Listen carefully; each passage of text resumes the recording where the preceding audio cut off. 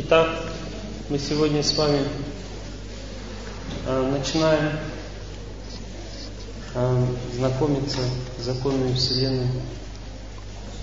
Эта информация, она необходима для того, чтобы э, преодолеть страдания нашей жизни. Одни люди способны изменить свою жизнь даже в самых тяжелых условиях, Другие бьются, как рыба бьет. И мало кто да, может дать рецепт, как можно справиться с той ситуацией, когда муж пьет или ребенок наркоман. Но рецепт есть. Для того, чтобы его понять, требуется посетить эту лекцию, которую сегодня мы будем Сегодня мы будем общаться на эту тему. Итак, э, наша жизнь очень сильно зависит от того, в какую сторону направлен наш разум. Разум отвечает за то, какая будет судьба. Разум управляет планетой Юпитер, поэтому просто глядя в гороскоп на состояние планеты Юпитер, можно уже много что сказать о человеке. Однако же, если человек знает секрет, как можно справиться с своими проблемами, он способен преодолеть все трудности жизни. Однако это не произойдет за один день. Для того, чтобы вам глубже понять этот вопрос, я начну с того, что Существуют силы, управляющие, а, как бы дающие нам возможность воплотить наше понимание счастья в жизнь. Но оно будет воплощаться не так, как нам хотелось бы, а то, а оно будет, оно будет воплощаться так, как положено. Это значит, что если наше понимание счастья неправильное, оно имеет какие-то изъяны, это значит, что в этом случае мы будем получ, мы получим желаемое, но также получим и страдания. Допустим, я приведу такой пример, общий, как, как бы распространенный пример. Мама э, хочет дать своему ребенку, сделать его счастливым. Естественно, женщина ставит своей целью воспитать своего сына. Это естественно. И она считает, что главная цель жизни это воспитание ребенка. Однако же в основном люди не понимают, что такое эти силы, которые влияют нашим разумом, которые поддерживают наше, наше понимание счастья, правильное оно или нет. Они поддерживают его и не дают нам никаких шансов выйти из этих рамок, в которых мы находимся. Итак, если мама считает, что нас должна сделать своего ребенка счастливым, это правильная позиция, но она должна быть подкреплена знанием. Чаще всего э, мама, которая считает, что ребенок должен стать счастливым, начинает думать, что она должна жить для своего ребенка. В результате она попадает под влияние силы, которая называется гуна страсти. Мы потом сейчас будем э, объяснять и рассказывать об этом. И в результате этой влияния этой силы, так как ее сознание направлено на своего ребенка, она считает, что она должна жить для него. Ребенок начинает себя считать центром как бы всего. Ему кажется, что он главный, что ради него нужно жить, что нет другого смысла жить, допустим, его маме, кроме как жить ради него, потому что он видит, что это как бы ее цель, ее разум направлен на него. Таким образом, в результате этого у него начинает увеличиваться эгоизм, эгоистичность. Он становится эгоистичным. Просто разум матери направлен в эту сторону, и ребенок, он настраивается таким образом, Потом дальше он растет постепенно. Сначала до 12 лет он подчинен матери, поэтому она ему кажется, ей кажется, что он очень хороший ребенок. Или нормальный, более-менее нормальный ребенок. Потом после 12 лет ребенок приобретает психическую независимость после полового созревания. И его эгоизм, он уже будет проявлен в полной степени. Такой ребенок будет чувствовать, что а, его, его свободу в, семье, в семье ущемляют, ему не дают свободно жить. Поэтому он будет пытаться, пытаться действовать независимо. И это только начало тех страданий, которые мать, эта мать испытает, которая поставила перед собой неправильную цель. Это только начало. Мы живем для того, чтобы определить, что такое счастье. И поэтому судьба так сильно мучает нас, для того, чтобы мы поняли это правильно. В результате, потом дальше, мать, искренне считая, что она должна всю свою жизнь посвятить своему ребенку, вдруг обнаруживает, что ребенок, уйдя из семьи, она, она искренне верит, что есть справедливость, а если она живет для своего ребенка, значит и ребенок будет жить для нее. Потом, дальше в жизни. Но если вы кому-то дали яблоко, это значит, что он вам тоже даст яблоко когда-нибудь, нет? Вы решили, поставили свою цель и давать кому-то яблоко, какому-то человеку.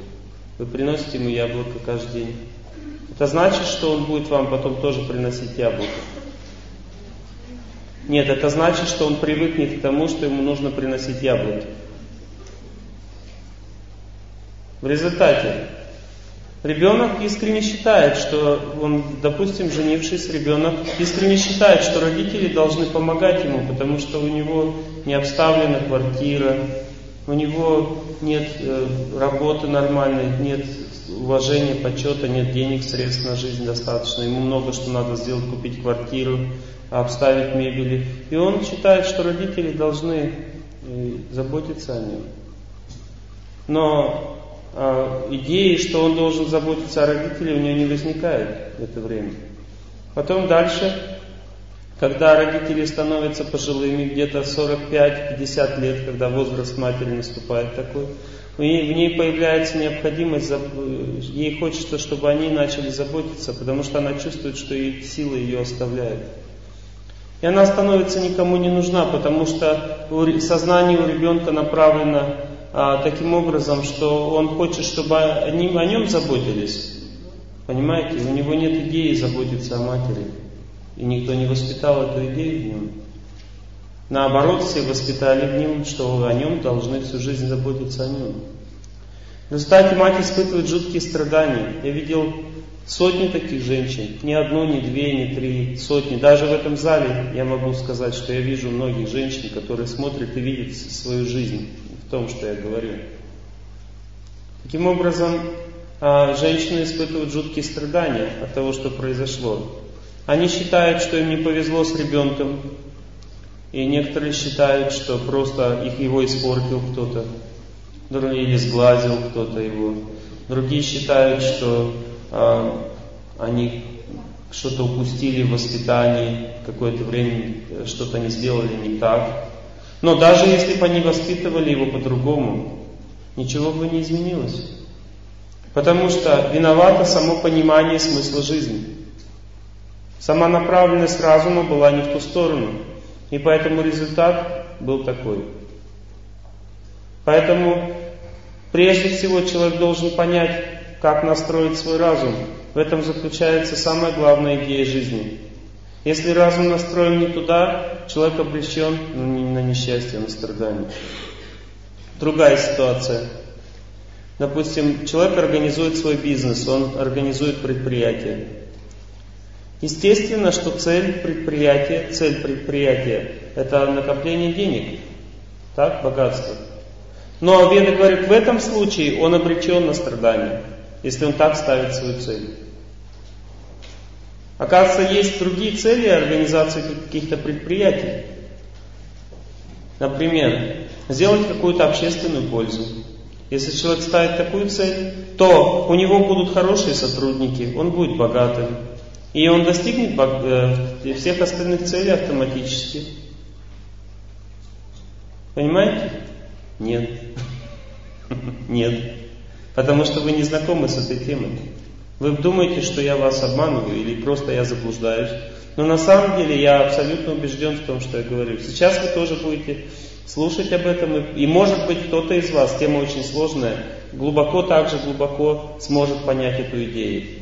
В этом случае жизнь человека, который правильно поставил себе цель, меняется сама. Так говорят веды. Вы не сможете изменить свою судьбу, сделать из наркомана сына хорошего человека. Вы не сможете сами. Люди у меня спрашивают рецепт. Как сделать так? Может его закодировать, может что-то с ним сделать. Вы ничего не сделаете. Он каким был, таким и остался. Но поменяв свою направленность разума, человек может сделать так, что судьба начнет сама меняться, и сын его и, или его станет лучше. В этом заключается секрет ведического знания. Мы не знаем точку приложения своей силы. Один человек копает ломат лопатой, другой трактором. Люди, к этому есть такая притча индусская, есть такая притча, когда а, англичане впервые паровоз в Индию привезли, когда обычные на полях рабочие индусы увидели, как идет паровоз, как едет паровоз, они, они начали рассматривать его со всех сторон и очень сильно удивились. И когда машинист спросил, чему вы удивлены, они, они сказали, «Э, мы удивлены только одному, как вы очень хитро спрятали внутри лошадей, что их совсем не видно. Очень хитро спрятали лошадей. То есть они не понимают, что по-другому тоже это может ехать как-то машина.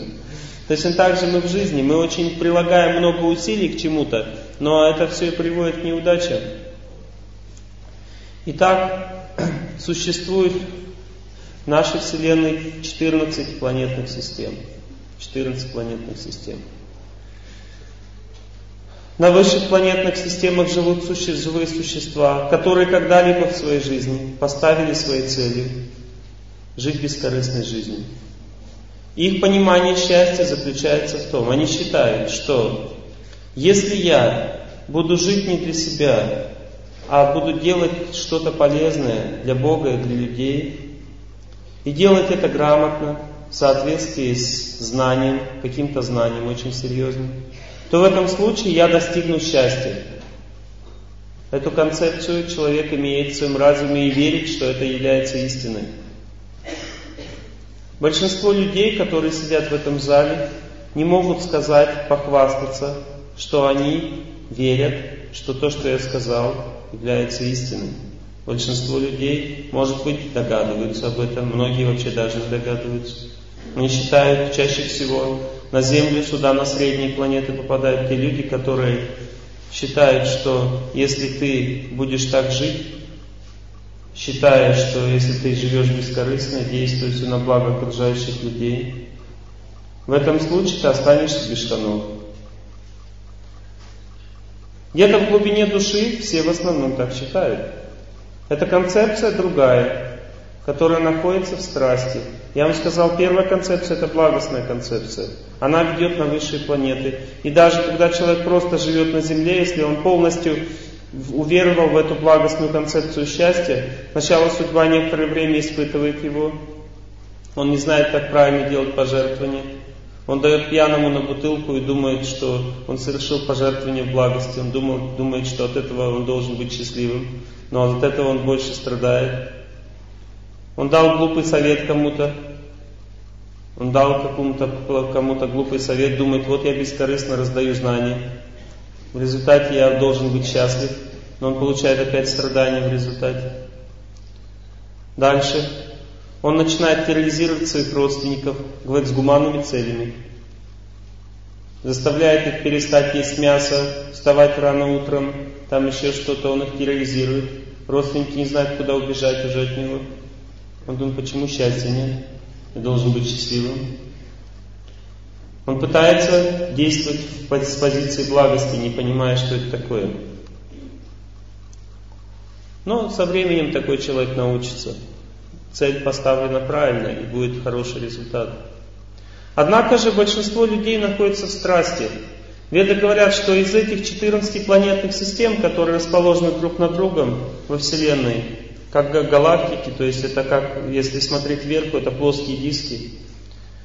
Наша галактика по счету находится на седьмом уровне.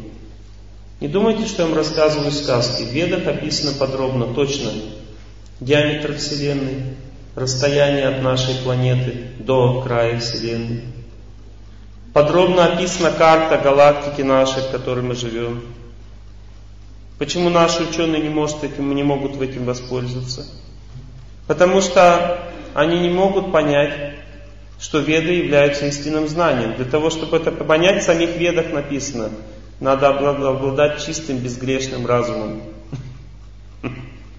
Например, в ведах написано там, допустим, что такой-то, такой-то, там описывается, как происходили события, допустим, там описывается такой-то, такой-то, произнес несколько звуков, и в результате этого огромный огненный шар полетел там на такого-то, испалил его дотла.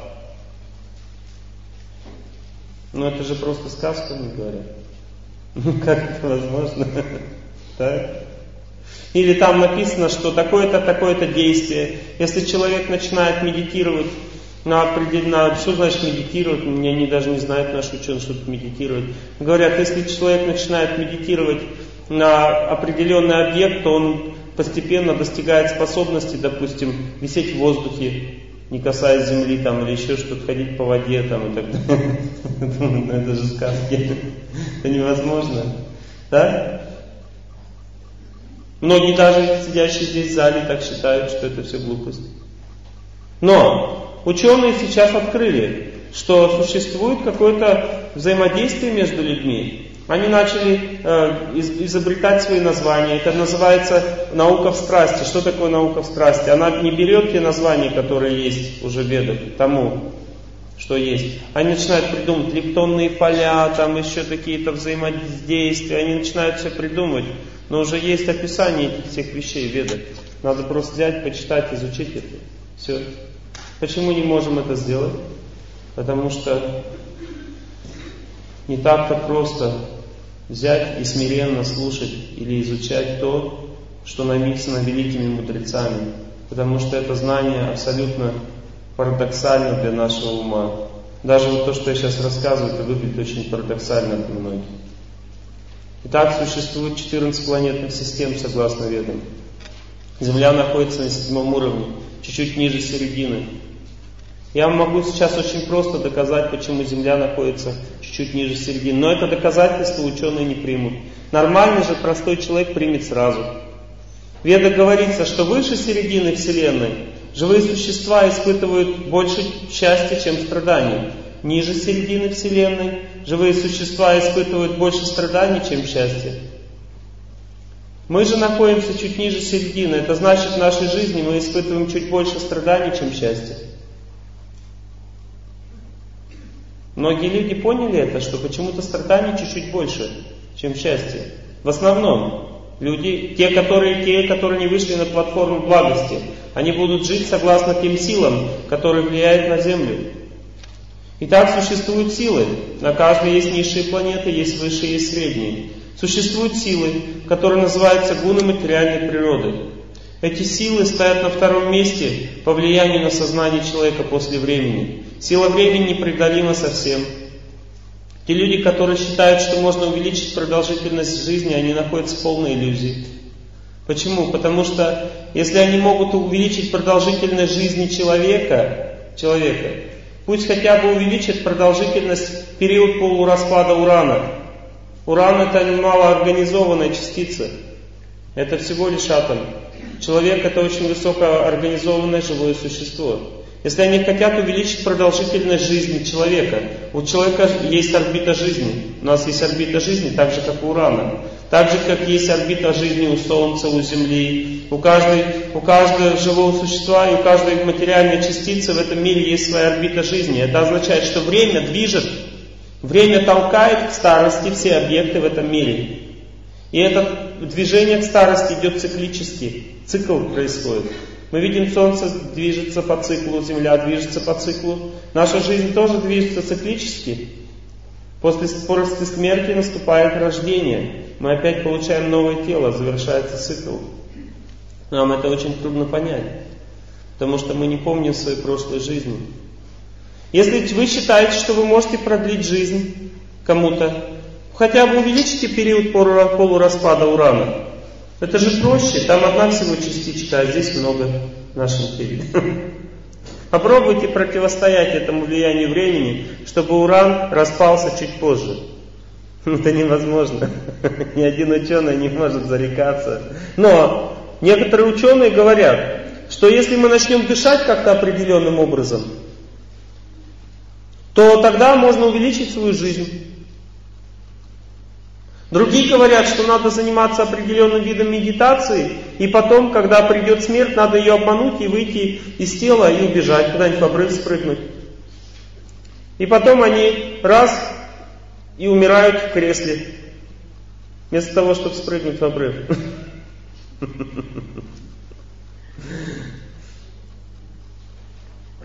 Оказывается, что э, время это является самой большой силой. Однако мы можем увеличить интенсивность жизни или ее направленность. Наша судьба в наших руках. Мы можем направить свою жизнь в какую-то сторону, но продолжительность жизни мы изменить не можем. Выше времени стоят другие силы, стоят другие силы, которые называются гуны материальной природы. Это не что иное, как сила, которая дает возможность нам выполнить все наши желания в соответствии с нашей концепцией счастья. Концепция счастья это нечто, э, то, что формирует всю нашу жизнь. Мы, когда мы рождаемся, у нас ум, ум тонкое тело ума. Веды говорят, что у нас есть тонкое тело. Тонкое тело означает анатомическое строение, которое мы не видим. Но мы можем его почувствовать. Например, психика человека или характер – это не что иное, как тонкое тело ума. Мы постоянно общаемся с характером друг друга, но мы не понимаем, что эта деятельность находится на физическом плане. Наши ученые считают, что это просто фантасмагория. Нет никакого общения, есть просто условные рефлексы. Однако же, если такому ученому жена скажет, ты дурак, он реально почувствует изменения в своем сознании. Если он считает, что это условный рефлекс, так значит, что он кошка. Потому что он же, если он ученый, зачем ему нужны эти условные рефлексы? Он должен их подавить. Однако, если жена ему скажет это, он будет нервничать. Он не сможет подавить. А значит, есть влияние. Дальше-то, если такого ученого спросить, вот ты обижен сейчас на кого-то, попробуй прервать пометование об своей обиде. Попробуй взять насильно прервать это пометование. Это невозможно. Есть только один способ. Надо простить этого человека и попросить у него прощения. Две вещи сделать. Пометование отрицательного человека само прекратится потом и все. Если ты этого не делаешь, ты будешь дергаться, метаться, ты от, от этих мыслей не уйдешь, потому что есть связь. Она реально существует. Человек постоянно вспоминает об, об обиде. Обидчики. Вы согласны с этим или нет, что мысль навязчиво приходит в голову? Она возникает сама. Мы не можем ничего с этим сделать. Означает, существует тонкое тело, связь, тонкая связь между людьми. Это реальный факт. Многие не хотят признавать и поэтому страдают. Потому что они не знают, как бороться с этими явлениями. Итак, есть тонкое тело. Тонкое тело ума называется телом желаний. Каждое наше желание новое формирует, изменяет тонкое тело. В результате в следующей жизни мы получаем то тело грубое, которое соответствует тонкому телу желаний. Все наши желания воплощаются в грубом теле. Наша Вселенная имеет очень много мест жизни. Каждое место жизни соответствует определенному типу желаний. В зависимости от того, какие желания мы имели в этой жизни, мы получаем ту точку пространства в своей жизни, которая соответствует полностью всем нашим желаниям. Так говорят веды. Однако же следует знать, что даже на Земле есть много измерений, где можно жить в разных измерениях с разными желаниями. У нас только здесь у нас много есть цивилизаций. Э, в Ведах описано, что в Гималаях существует цивилизация высокоразвитых живых существ, которые называются якши. Они способны перемещаться на большом расстоянии с помощью мыслей. У них очень высокая цивилизация живет совсем, они живут совсем в другом измерении, не в нашем. Они с нами не пересекаются совсем. Под землей есть, есть э, живые существа, которые испытывают сильные страдания. Они живут в других измерениях тоже. Они живут под землей, там два измерения всего, у нас три. Они в плоскости живут. Мы этого не знаем, Веда описывает, что это есть. Мы не можем спорить, потому что мы не можем проверить. Однако же многие вещи мы можем проверить. Веды, Веды описали атомное время. Знаете, что такое атомное время? Это самое точное время, которое только существует во Вселенной. Веды описали, как измерить атомное время. Пять тысяч лет назад. Они описали строение всей Солнечной системы очень точно. До всех планет расстояния описаны были. Наши ученые открывают, то же самое видят. Нет никакой разницы. Это означает очень высокий уровень знания. Мы не можем его отрицать. Итак, эм, существует сила выше ума, которая называется тонкое тело разума. Эта сила движет всей нашей жизнью. Она состоит из знания о том, что такое счастье. Наша концепция счастья рождается вместе с нами. Получив маленькое тело, маленького ребенка, мы немедленно начинаем делать ручками вот так на себя. Это означает, что я хочу что-то для себя. Таким образом, концепция страсти или желание жить для себя, вторая концепция, запишите, концепция страсти, означает, я хочу быть счастливым. И счастье означает жить для меня, я хочу жить для себя, в этом заключается мое счастье. Но я не хочу никому зла, я не хочу никому портить жизнь, я не хочу насилие совершать, я хочу жить по законам этой страны, там, где я живу. Но я хочу жить для себя. Я хочу себе жену, себе профессию, все, все себе, все для себя. И в этом заключается счастье. Все живые существа, которые рождаются на Земле, они уже заранее имеют эту концепцию счастья. Потому что здесь место для такой концепции счастья. Здесь она должна воплощаться в жизнь. Мы будем описывать, как это происходит, что из этой концепции получается, как, какая жизнь из этого получается. Мы увидим свою жизнь в описании ведическом. Сегодня у нас тема о благости. И невежественная концепция счастья означает, кстати, у нас Земля сейчас начинает попадать потихоньку в силу влияния времени под слои невежественных планет все больше и больше. И концепция в невежестве, мы можем даже на протяжении 20-30 лет увидеть, как она внедряется в нашу жизнь. Эта концепция означает, что на самом деле счастлив будет только тот, кто способен силой завоевать свое счастье. Счастье будет только тот, кто способен растолкать всех локтями и взять свое счастье. Если кто-то встает на его пути, надо просто стереть его в порошок. Не имеет значения, каким способом, обманом, хитростью, черным бизнесом и так далее. Надо любыми способами, невзирая ни на какие законы, невзирая ни на кого, просто взять свое счастье и все. Это называется концепция счастья в невежестве.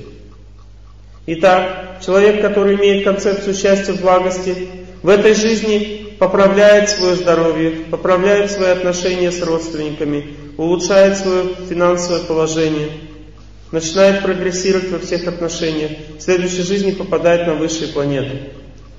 Тот, кто имеет концепцию счастья в страсти в этой жизни, постепенно чувствует, что время свободного становится все меньше и меньше. Он постепенно все больше и больше портит свои отношения с родственниками. У него становится все больше и больше болезней.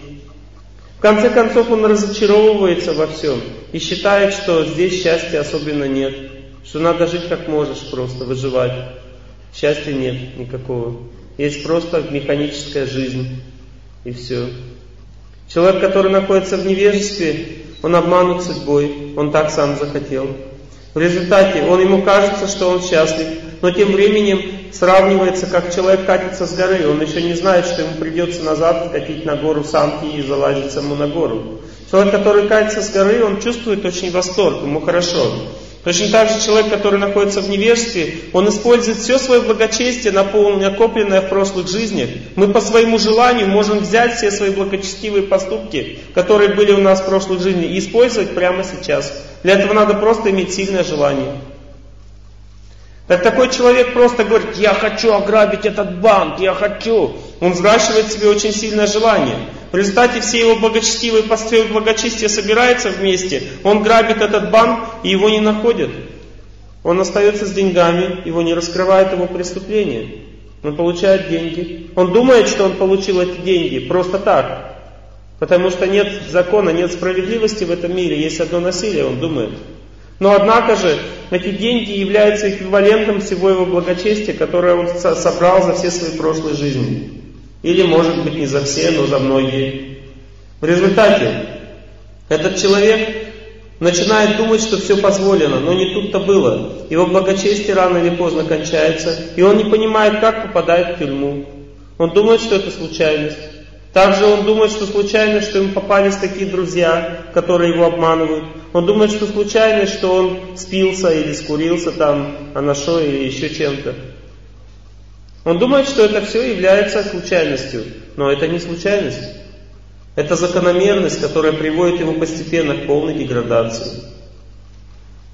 Понимаете? Человек, который находится под влиянием концепции страсти, он считает, что он должен жить для себя, никого не трогать. Он рождает в следующей жизни опять на средних планетах, так же, как мы, на Земле или на других каких-то, как здесь.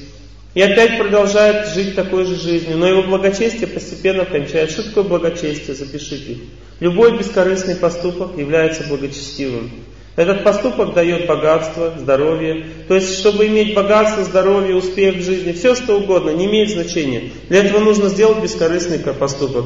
Любой корыстный поступок сразу делает обмен. Я хочу чего-то, работаю. Я получаю взамен, и у меня остается на, на, на моем счету ноль. Допустим, человек, находящийся в страсти, он работает ради зарплаты. Он получает свою зарплату. Все. Теперь вы скажете, но не всегда же он получает зарплату, иногда его обманывают. Да, это означает, что в прошлых жизнях он совершал какие-то неблагочестивые поступки. И за это он получает по голове. Поэтому существует закон пожертвований, который гласит, если ты совершаешь пожертвования в этой жизни, то ты способен прожить без эксцессов особых. Потому что все твои неблагочестивые поступки, идущие из прошлого, они будут нейтрализоваться твоими благочестивыми поступками, сегодняшними, совершенными сегодня. И все, это будешь нормально жить более-менее, у тебя не будет проблем. Поверить в это очень сложно, потому что то, что я говорю, вам кажется теоретическим знанием. Вам кажется, что если человек бескорыстный, он остается без штанов. Можете привести кучу примеров. Но вы будете называть не бескорыстных людей, а лопоухих. Что такое настоящее бескорыстие, очень трудно понять человеку в страсти. Для этого нужно стать благостным человеком. Почему так? Потому что веды говорят, что если у человека на него влияет гуна или сила благости, идущая с высших планет, то она направляет, забирает его разум, туда направляет в эти силы. И в результате этого человек начинает видеть мир в определенной плоскости. Он начинает, ему нравиться, допустим, люди, которые мыслят точно так же. Гуна благости вводит его в плоскость этих людей. Она дает ему понимание, с кем надо общаться, с кем не нужно общаться. Дальше она дает ему понимание, как надо правильно жить, что такое правильная жизнь. У людей страсти своя сфера общения, свое понимание, как правильно жить. Человек в страсти смотрит на благостного человека, он думает, он ненормальный. Того. Человек в невежестве смотрит на страстного человека, думает, работа голик, дурак. Ненормальный человек, надо просто идти, взять деньги эти и все. Это очень просто, взять просто операцию, махинацию, сделать очень много денег. Зачем работать всю жизнь? Зачем? А эти святоши, он говорит, это вообще непонятно, это, наверное, шизофреник. Он говорит, то есть люди находятся в разных плоскостях, они не понимают друг друга совсем.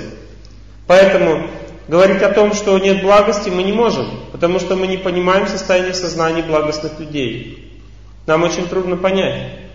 Точно так же, как мы не понимаем состояние сознания невежественных людей. В чем заключается счастье?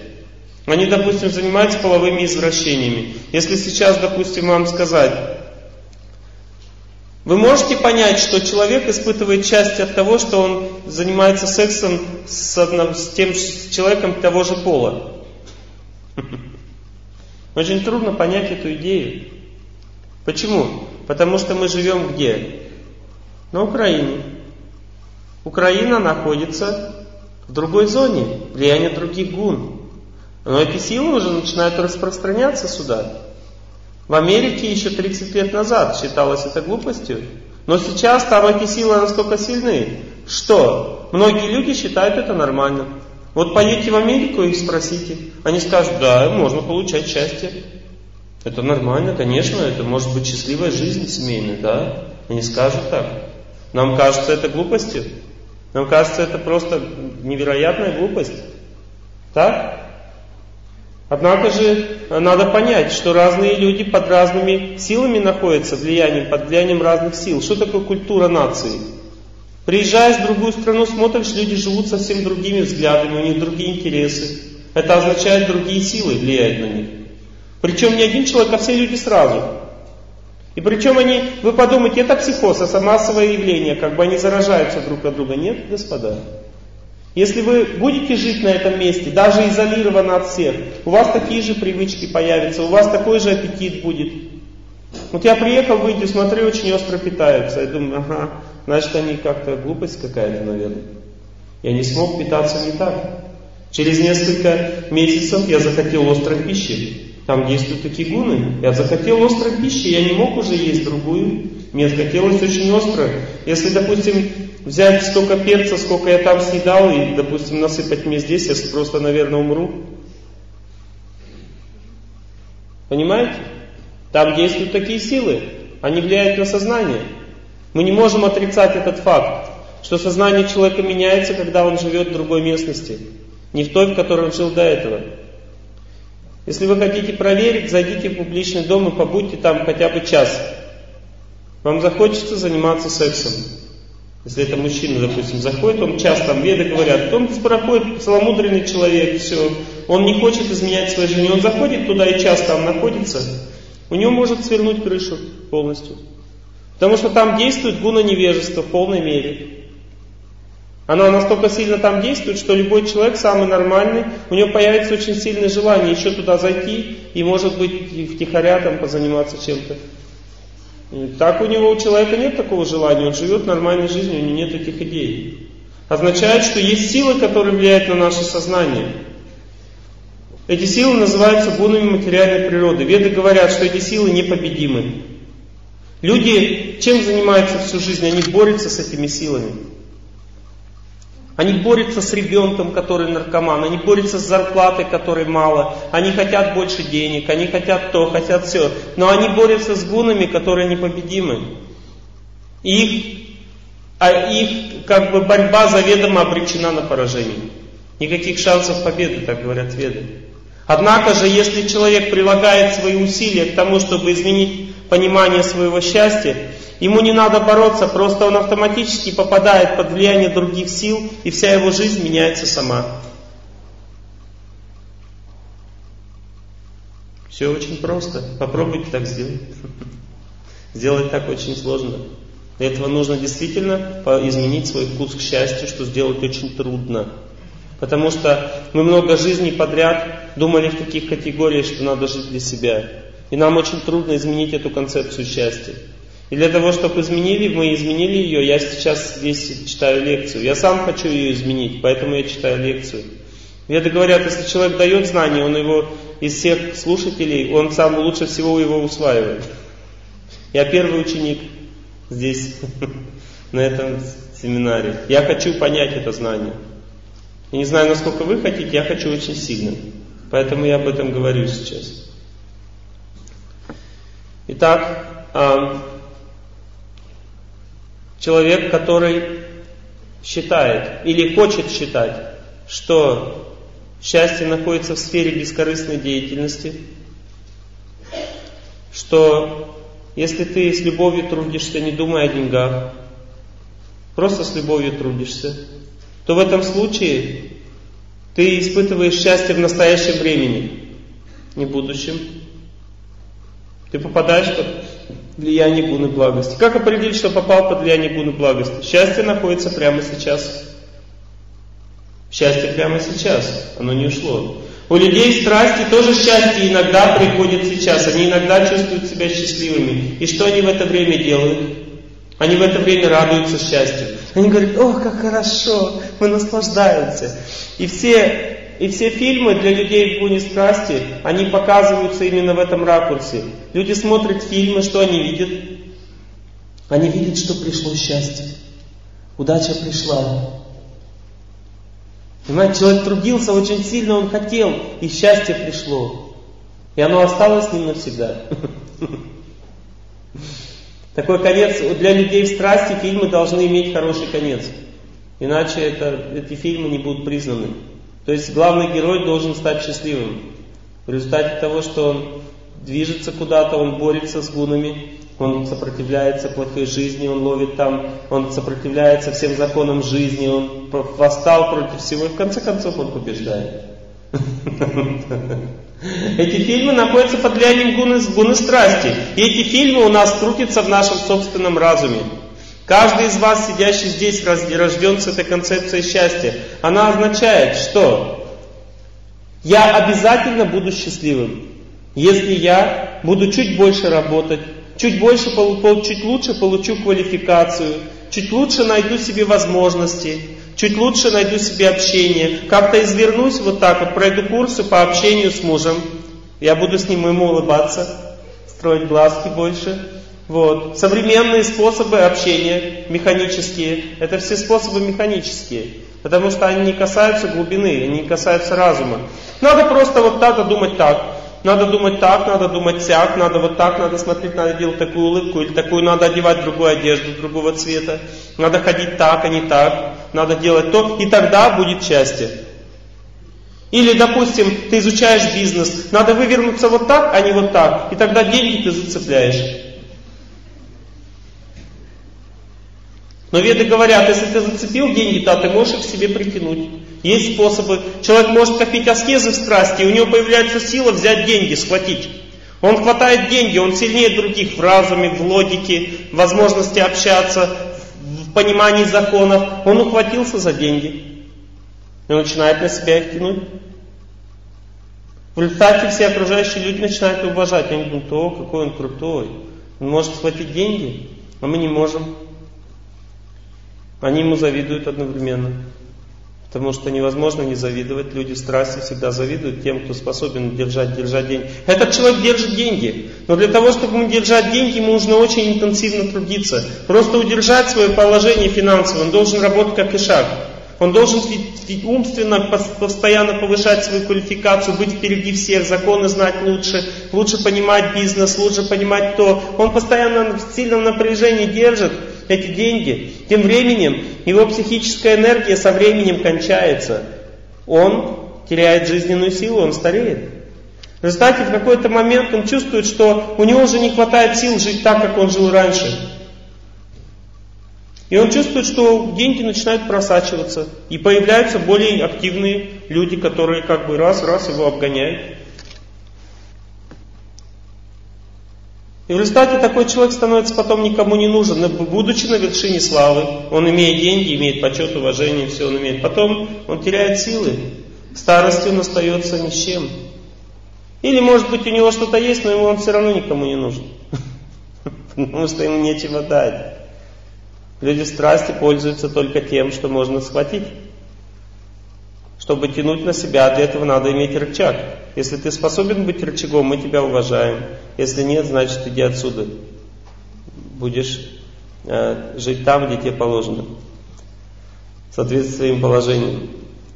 Итак, в гуне, под влиянием гуна страсти нет любви. Есть деловые отношения, любви нет. Сила благости подразумевает желание помогать. Счастье испытывать счастье от помощи.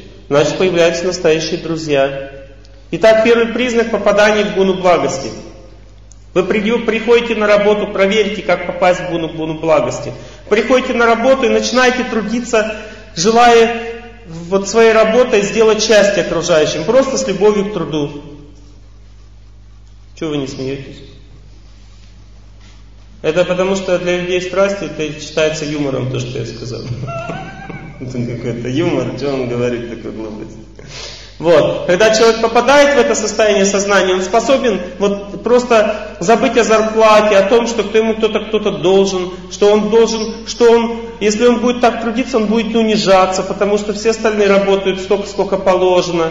То есть я буду, зачем я буду унижаться, зачем я буду работать с радостью, с любовью, надо же работать э, просто, как все. Но очень трудно, потому что скупо сердце мешает, гуна страсти мешает, она действует на мозги, она говорит, Живи как все, работай ради денег, не выделяйся.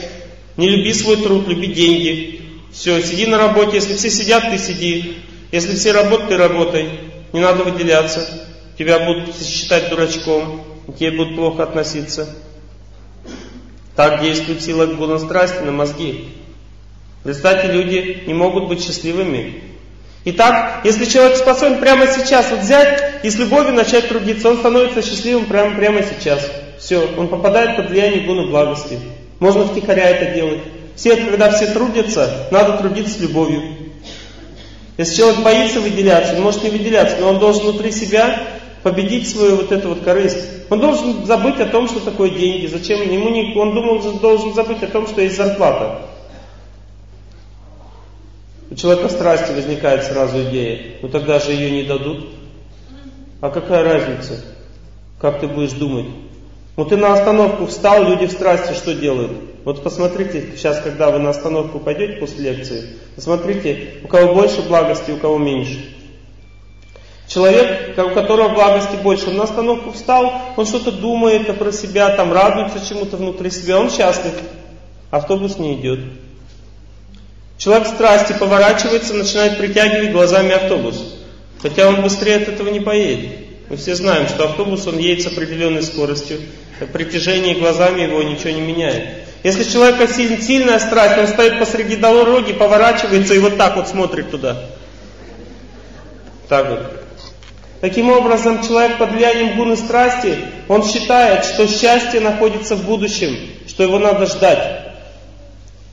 Зачем он ждет этот автобус? Чтобы сесть в него. Когда он садится в автобус, он ждет, когда приедет домой. Когда он приехал домой, он ждет, когда наступит, будет фильм. Когда начинается фильм, он, он ждет, когда будет следующий. По этому поводу есть такой анекдот. Когда стоим в душе, хочется кушать. Когда едим, хочется гулять. Когда гуляем, хочется в душ. Так действует гуна страсти. Она означает, счастье в будущем находится, сейчас его нет с нами. С нами рядом нет счастья, оно в будущем. Это значит, я женился, все, я женился. Но я счастлив буду тогда, когда будут дети. И на самом деле жена уже надоела, надо любовницу иметь. Любовницу получил, ну счастья пока нет, надо еще круче любовницу иметь. Машину купил, надо круче машину, это уже плохая, не в моде уже, не современная. Я ошибся, на самом деле надо было сразу лучше покупать. Вот это называется влияние гуны страсти. Счастье находится в будущем. В настоящем счастья нет.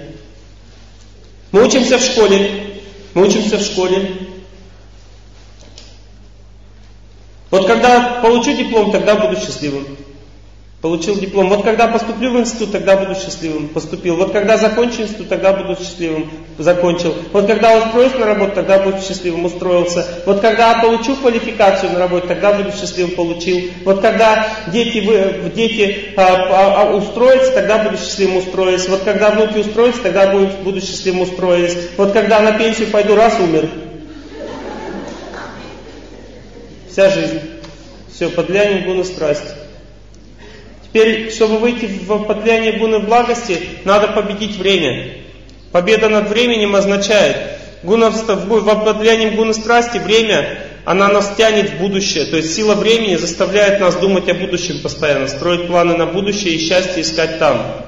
Человек, который со всей своей силы побеждает скупость себе и ищет счастье прямо сейчас, здесь, в настоящем, он обратит внимание на то, что, что чтобы в настоящем было счастье, для этого надо создать себе определенные условия. И эти условия он пытается, когда создавать, желая счастливым быть сейчас, он приходит к выводу, что для того, чтобы быть счастливым на работе, надо полюбить труд. Другого способа счастливым прямо сейчас нет. Вот хоть убейся.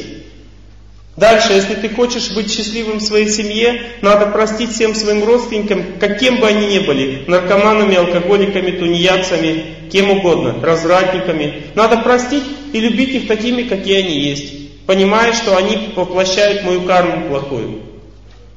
А будет ли он в этом случае любить меня? А это уже влияние гуна страсти. Не имеет значения, будет или нет. Ты хочешь быть счастливым или нет? Если хочешь, люби сам. У людей в гуне благости счастье находится в той деятельности, которую человек совершает, а не в плодах деятельности. Человек под влиянием гуна страсти ищет счастье в плодах. Он думает, я совершаю деятельность, хорошо. Какой результат? Будут они меня за это уважать, любить или нет? Это влияние гуна страсти. Человек под влиянием гуна благости хочет быть счастливым сейчас. Поэтому он совершает действие, испытывает счастье от него. Все. Теперь, вы хотите быть счастливыми прямо сейчас. Но дома ждут дела. Лекция должна вовремя закончиться. Дома ждут дела, нечего затягивать лекцию. Надо думать о будущем, потому что там дома дети, все прочее. Человек, который находится под влиянием силы благости, он знает, что если он сейчас на лекции будет счастливым, прямо сейчас, и не будет думать о будущем, о детях, о том, что они там делают, о том, э, мужа не сейчас еда не приготовлена, пища не приготовлена, надо же бежать домой быстрее. Он об этом не думает. В этом случае, оказывается, он попадает под влияние силы благости, и сила благости делает так, что его ум находящийся под влиянием силы благости, начинает влиять так на, на окружающих родственников, что они начинают испытывать счастье, испытывать счастье прямо сейчас. У них нет проблем, оказывается, у них нет проблем. Пропадает вот это ощущение, что у кого-то будут проблемы. Потому что человек прямо сейчас хорошо влияет на своих близких. Мать, находящаяся под влиянием силы страсти, думает, мой сын поехал в командировку, а там у него то, а там у него все. Вот когда приедет, тогда я буду счастливым. А сейчас так тяжело, так плохо, а вдруг то, а вдруг все, а вдруг это, а вдруг пятое, а вдруг десятое. Мать, находящаяся под влиянием силы благости, она хочет быть счастливой прямо сейчас и знает, что это поможет ее сыну. Она знает, что счастье есть. Поэтому она ищет способы, как быть счастливой, и она находит. Оказывается, если повторять молитвы определенные, то я нахожусь в счастье сейчас, и это защищает моего сына от проблем. Я в счастье сейчас, это влияет на его ум и разум таким образом, что он тоже избегает, трудно, избегает трудностей. Человек страсти приходит к больному инфаркту. Он приходит к нему и говорит, ну как ты? А? Тебе лучше. Я так плачу. Тебе лучше, да? Он говорит, слушай, я умираю, отстань, пожалуйста, иди, иди за дверь. Нет, ты думаешь только о себе. Тебе лучше или нет? Ну, пожалуйста, ну не третируй меня, дай хотя бы последние минуты жизни, ну, подышать спокойно, ну, ну, пожалуйста. Ну иди, иди, все, у меня все хорошо. Дай мне подышать. Я не могу пойти. Мне тебя жалко. То есть человек страсти, он думает, что он таким образом помогает. Он просто убивает своего родственника таким образом. Потому что он тянет с него психическую энергию. Он говорит, мне плохо, тому и так плохо. Он говорит, а мне, он пришел к нему навестить его подбодрить. Он говорит, мне плохо. Родственника, которым уже на волоске жизни. Человек благости к нему приходит. Говорит, Петрович, а помнишь, мы с тобой по грибы ходили? Помнишь? Как здорово там мы зайца видели там в лесу. Помнишь у нас то, помнишь все. И Петрович думает, слушай, не уходи, а посиди со мной еще. Поговори со мной, пожалуйста. Ты такой хороший человек. Не так хорошо с тобой. Я выздоравливаю от твоего присутствия. Жену не пускай.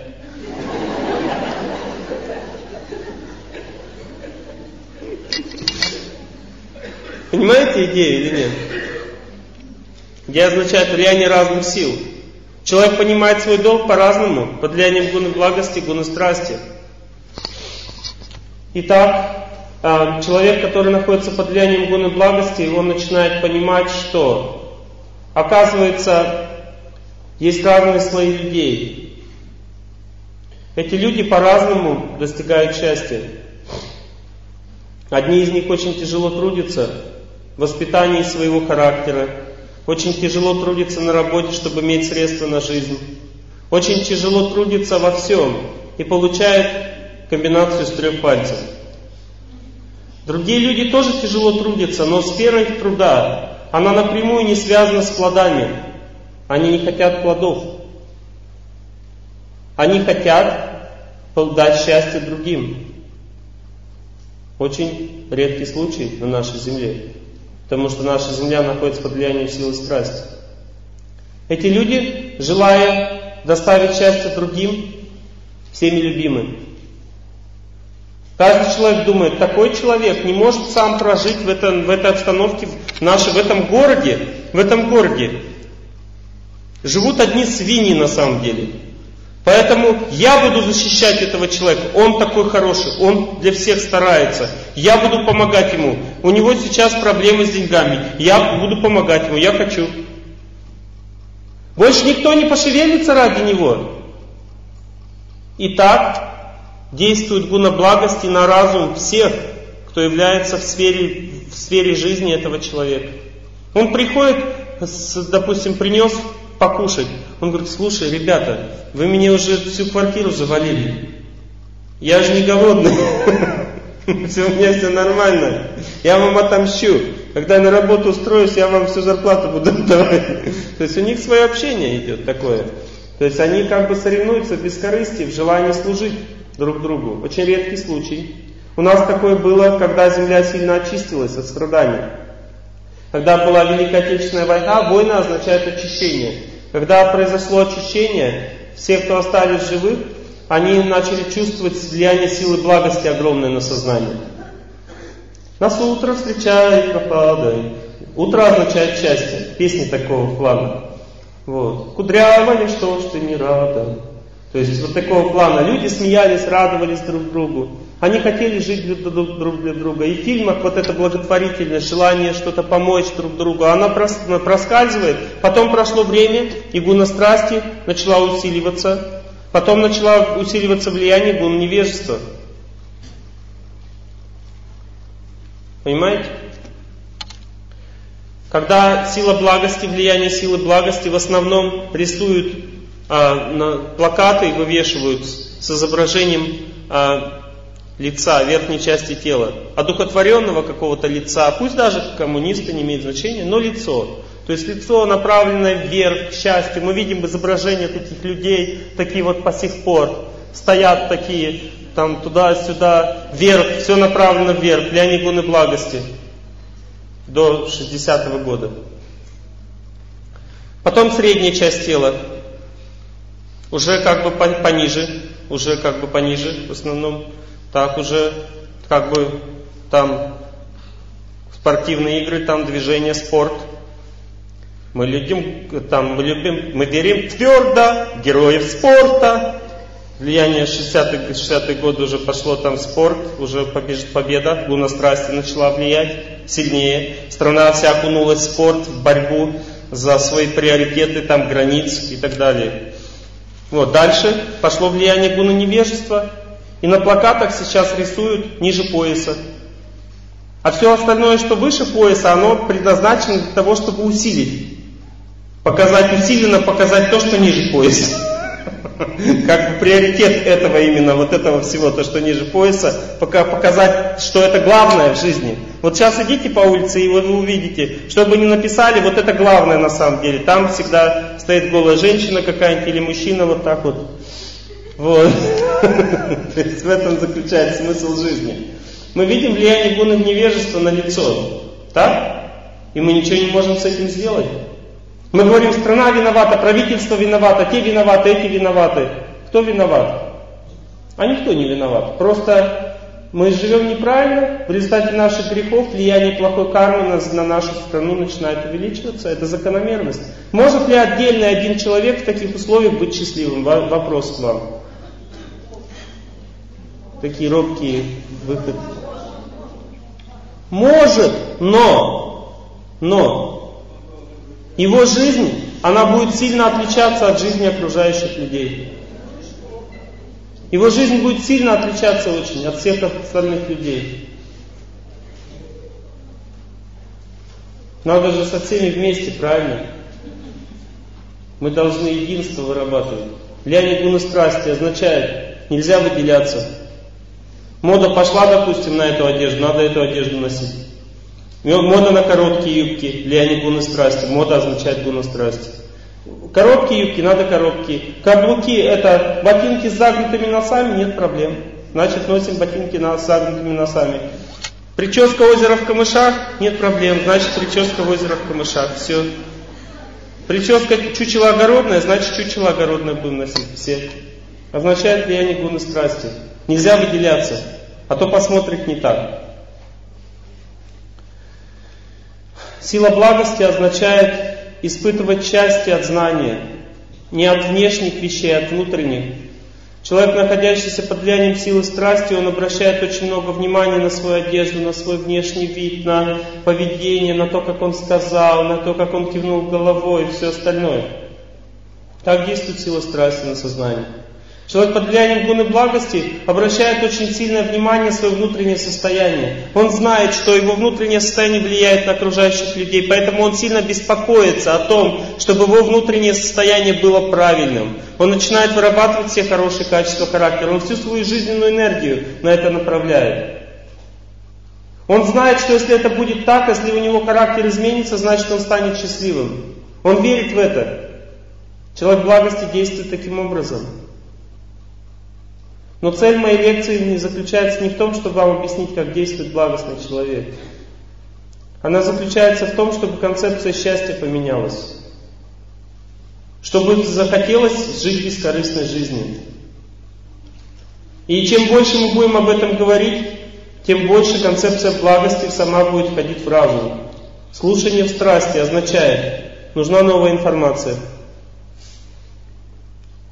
Сколько раз вы, Олег Геннадьевич, уже за эту лекцию повторили «бескорыстно жить»? Вопрос из зала. Ответ. А сколько раз вы это услышали?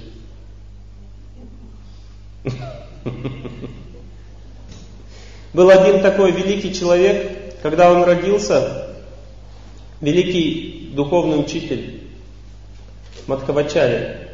Когда он родился, его учитель сказал ему одну фразу. Потом на следующий урок он ему повторил ту же самую фразу. Мадхавачари сказал, все, достаточно. Он был маленький ребенок. Он сказал, все достаточно, и это понял.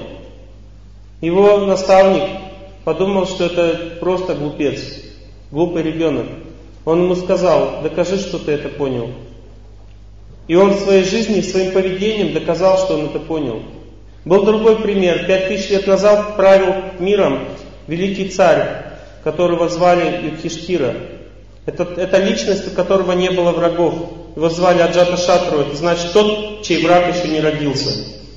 То есть, конечно же, враги были, но он врагом никого не считал на земле. Своим врагом никого не считал. Он правил всем миром. Это не значит, что он без штанов остался такой концепцией. Видите, он правил всем миром. Веда описывает его Способность наказывать не означает ненависть или что-то другое. И когда он, этот царь, когда он воспитывался, был маленьким ребенком, а, в, в ведах как бы для детей есть специальные знания, как бы описаны, специальные книги у них были. И там в этой книге а, были ну, там определенные тексты о том, как надо формировать себе характер. И учитель спрашивает детей, это было, ему было пять лет тогда. Его учитель спрашивает, а, сколько ты прошел месяц учебы? Ему, он его спросил, ты сколько выучил? Ты сколько выучил материала? Тот говорит, я точно выучил одно предложение и, наверное, выучил второе. Вот его он взял хворостину, начал лупить и говорит, ты что, издеваешься надо мной? Целый месяц прошел. Он на него смотрел, очень спокойно улыбался. Учитель ничего не понимал, он сильнее начинал его бить, тот продолжал улыбаться. Еще сильнее тот продолжал улыбаться. И потом он посмотрел в книгу, первое предложение. Говори всегда правду, чего бы тебе этому не, чему бы это тебе этому не грозило. То есть говори всегда правду, какие бы трудности у тебя после этого не были. Первое предложение. Второе предложение. Если, если ты способен, если ты, э, ты, э, человек, ты должен быть способен терпеть любые, любую боль и испытывать от, от, от этой боли, которую ты, которую ты воспринимаешь от судьбы, как, как благо для себя. И тогда ты будешь счастливым. Второе предложение. Это в этой книжке. И он говорит, ну почему же ты сказал, что ты только одно выучил? Ты же никогда не проронил ни слова, улыбался все время. Значит, ты и второе предложение выучил. Он говорит, ну я этого тогда еще не знал, потому что у меня не было возможности проверить это на практике. А теперь я это уже знаю. Лупил он проверял на практике, насколько он понял второе предложение. Это означает состояние разума в благости. Что такое состояние разума в благости? Человек, который находится в благости, он не верит, что он понял этот материал, который он слышит. Разум благостных людей однонаправленный, и они хотят слушать постоянно об одном и том же. Люди в страсти под влиянием гуны страсти хотят слышать постоянно что-то новое. Им хочется услышать что-то новенькое, новую информацию. Пожалуйста, давайте новую информацию. Эту информацию мы уже слышали, давайте какую-то новую, они говорят. И поэтому средства массовой информации, зная, что в основном люди находятся под влиянием гуны страсти, они знают, что надо постоянно давать какую-то новую информацию. Иначе люди будут переключать просто на другой канал. Им нужно слышать что-то новое постоянно. Люди под влиянием гуны страсти, как полной страсти, садятся в зал, начинают слушать и говорят, это я знаю, это я знаю. Сами себе они слушают лекцию и говорят себе, это я знаю, это я знаю, это я слышал, это я знаю, это я знаю. И потом думают, очкарик, зачем ты занимаешь это положение? Ты ничего нового не сказал. Лучше я, я могу лучше тебя лекцию прочитать на самом деле. Ко мне так подходят люди, говорят. Я лучше тебя могу лекцию прочитать. Я говорю, молодцы. Я так считаю тоже, я не против этого.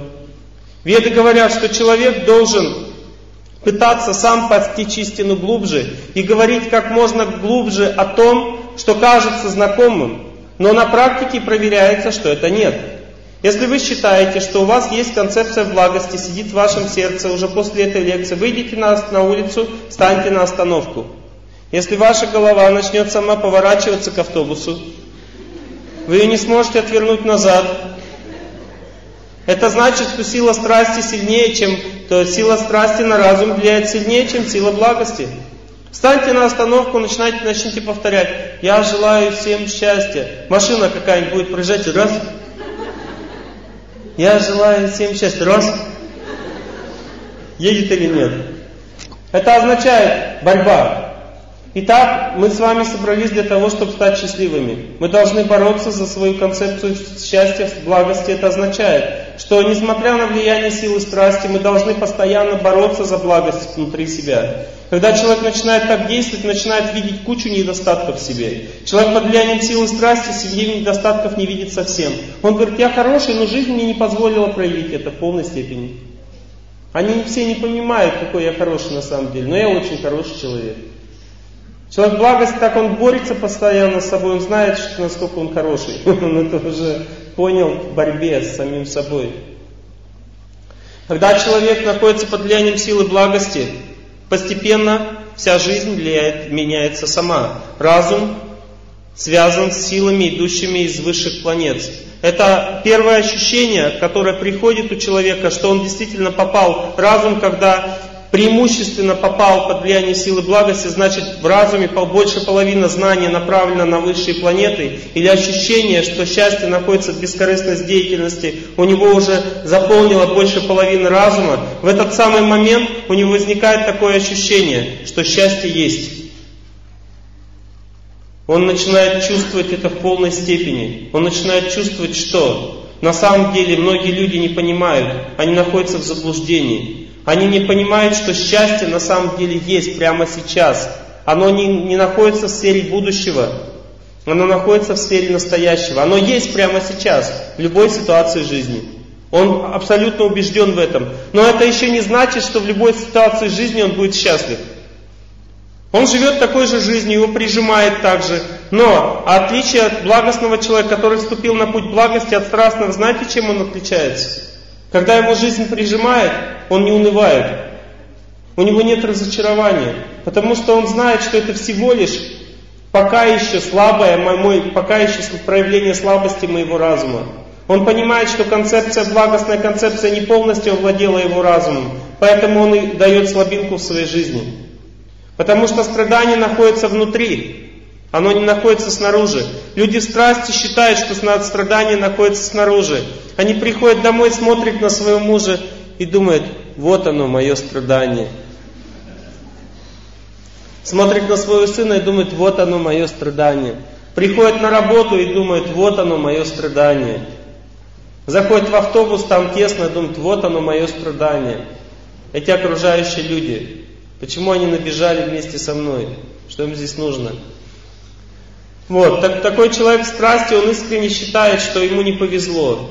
Он не понимает. Гуна страсти заставляет его не понимать. Это сила, влияющая на разум. Она заставляет так думать. Она говорит, счастье в будущем. Вот выйдешь из автобуса, тогда будешь счастливым. Терпи.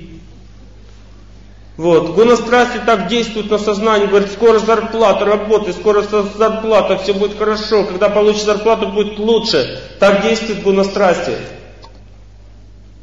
Купишь кофточку новую, еще никто не купил. Все, гуна благости дает ощущение, что счастье есть прямо сейчас. В результате этого ощущения оно начинает распространяться вокруг этого человека. И первое, что меняется в его жизни – Меняется случайное отношение. Он идет, допустим, по улице, такой человек, ему начинают все улыбаться. Ему улыбаются встречные люди, которых он не знает. Но те, которых он знает, а ему не улыбаются. Потому что они находятся в сфере более влияния, более сильной кармы. На работе отношения не изменились, его лишь немножко считают.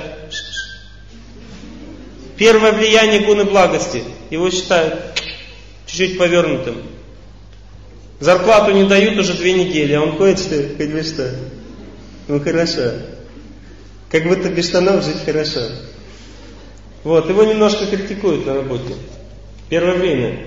Потому что через людей, которые находятся на работе, влияет сила страсти. Сила страсти его проверяет на вшивость.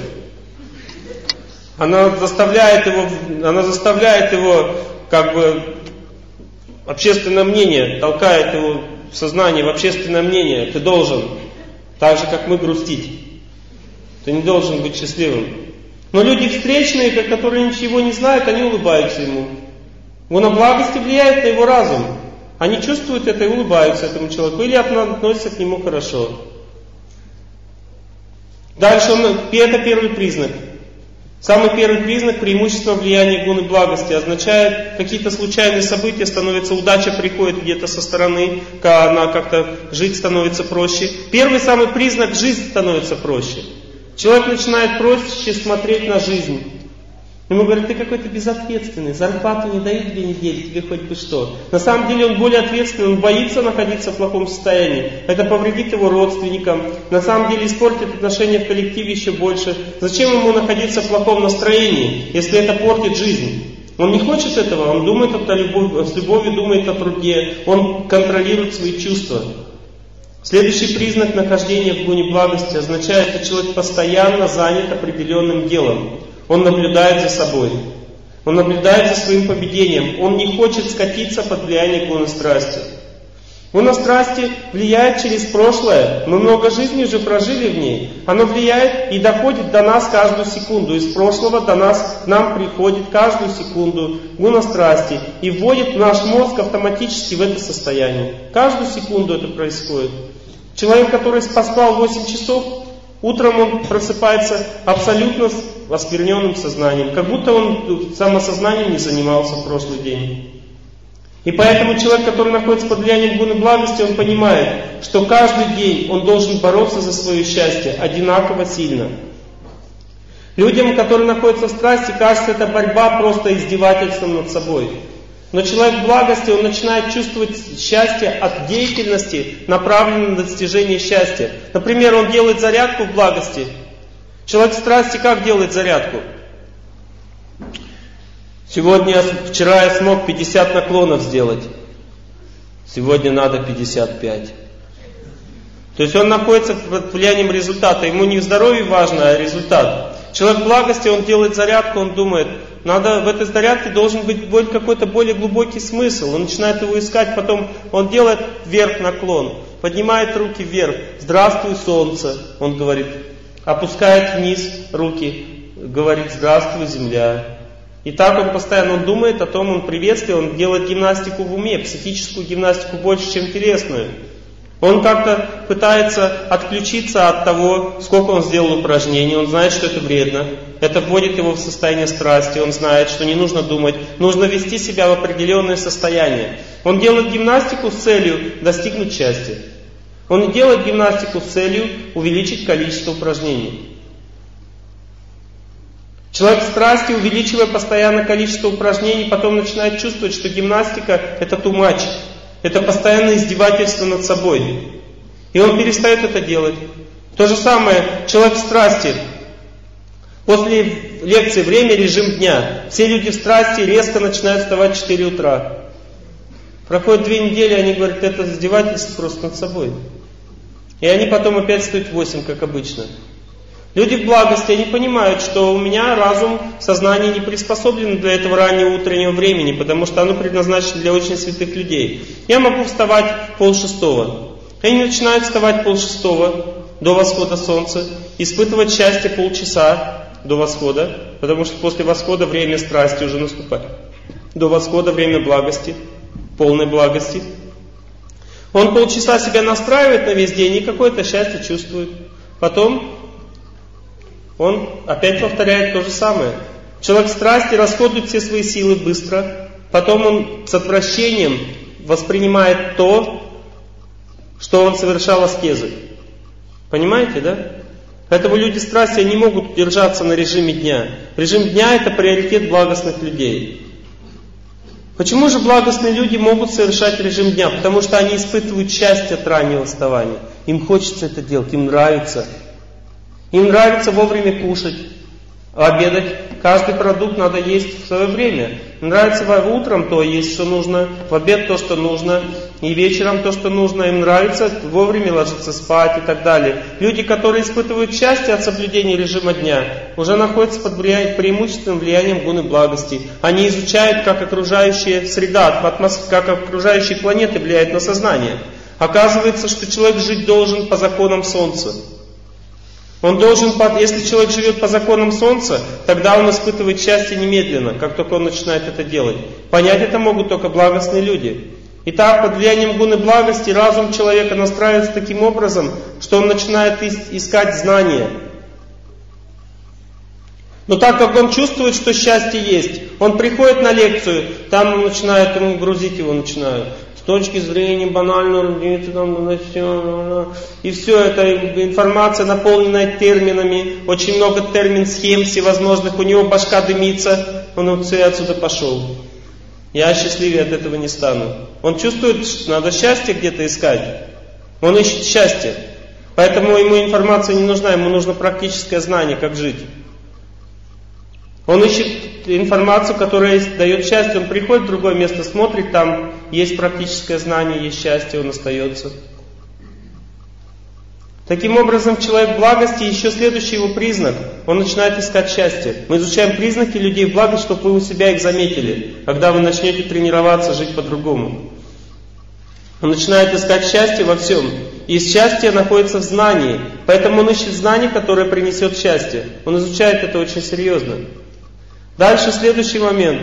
Он чувствует, что то, то общение, которое у него есть, его уже не устраивает. Это значит, другая гуна начинает влиять. Люди в невежестве, они тоже, а, они тоже начинают думать, ну что у меня, какие у меня были друзья, там работа, там все, семья. Они жизни не знают. Вот, и он думает, ей сейчас надо просто с паханами дружить, это хорошие ребята. Не все понимают. Вот, то есть э, человек, находящийся в состоянии невежества, он как бы, у него меняется круг общения тоже. Человек благости, у него меняется круг общения. Он, он бы и хотел общаться с этими людьми, которые были до этого у него друзья, но они его не понимают. Он говорит, ты знаешь, как хорошо рано вставать? Он говорит, да. Еще что скажешь? Что тебе там еще очкарик сказал? Ну, давай, рассказывай. Они смотрят на него, как на дурачка. Он, они, ему говорят, ты знаешь, что тебя зомбируют? Каждую секунду. Он, он, он на самом деле, посмотри на него лицо. Он же масонский еврей. Он же зомбирует просто вас и все. Вы, вы должны это понять. Зачем вы ходите на эти лекции? Это же зомбирование народа.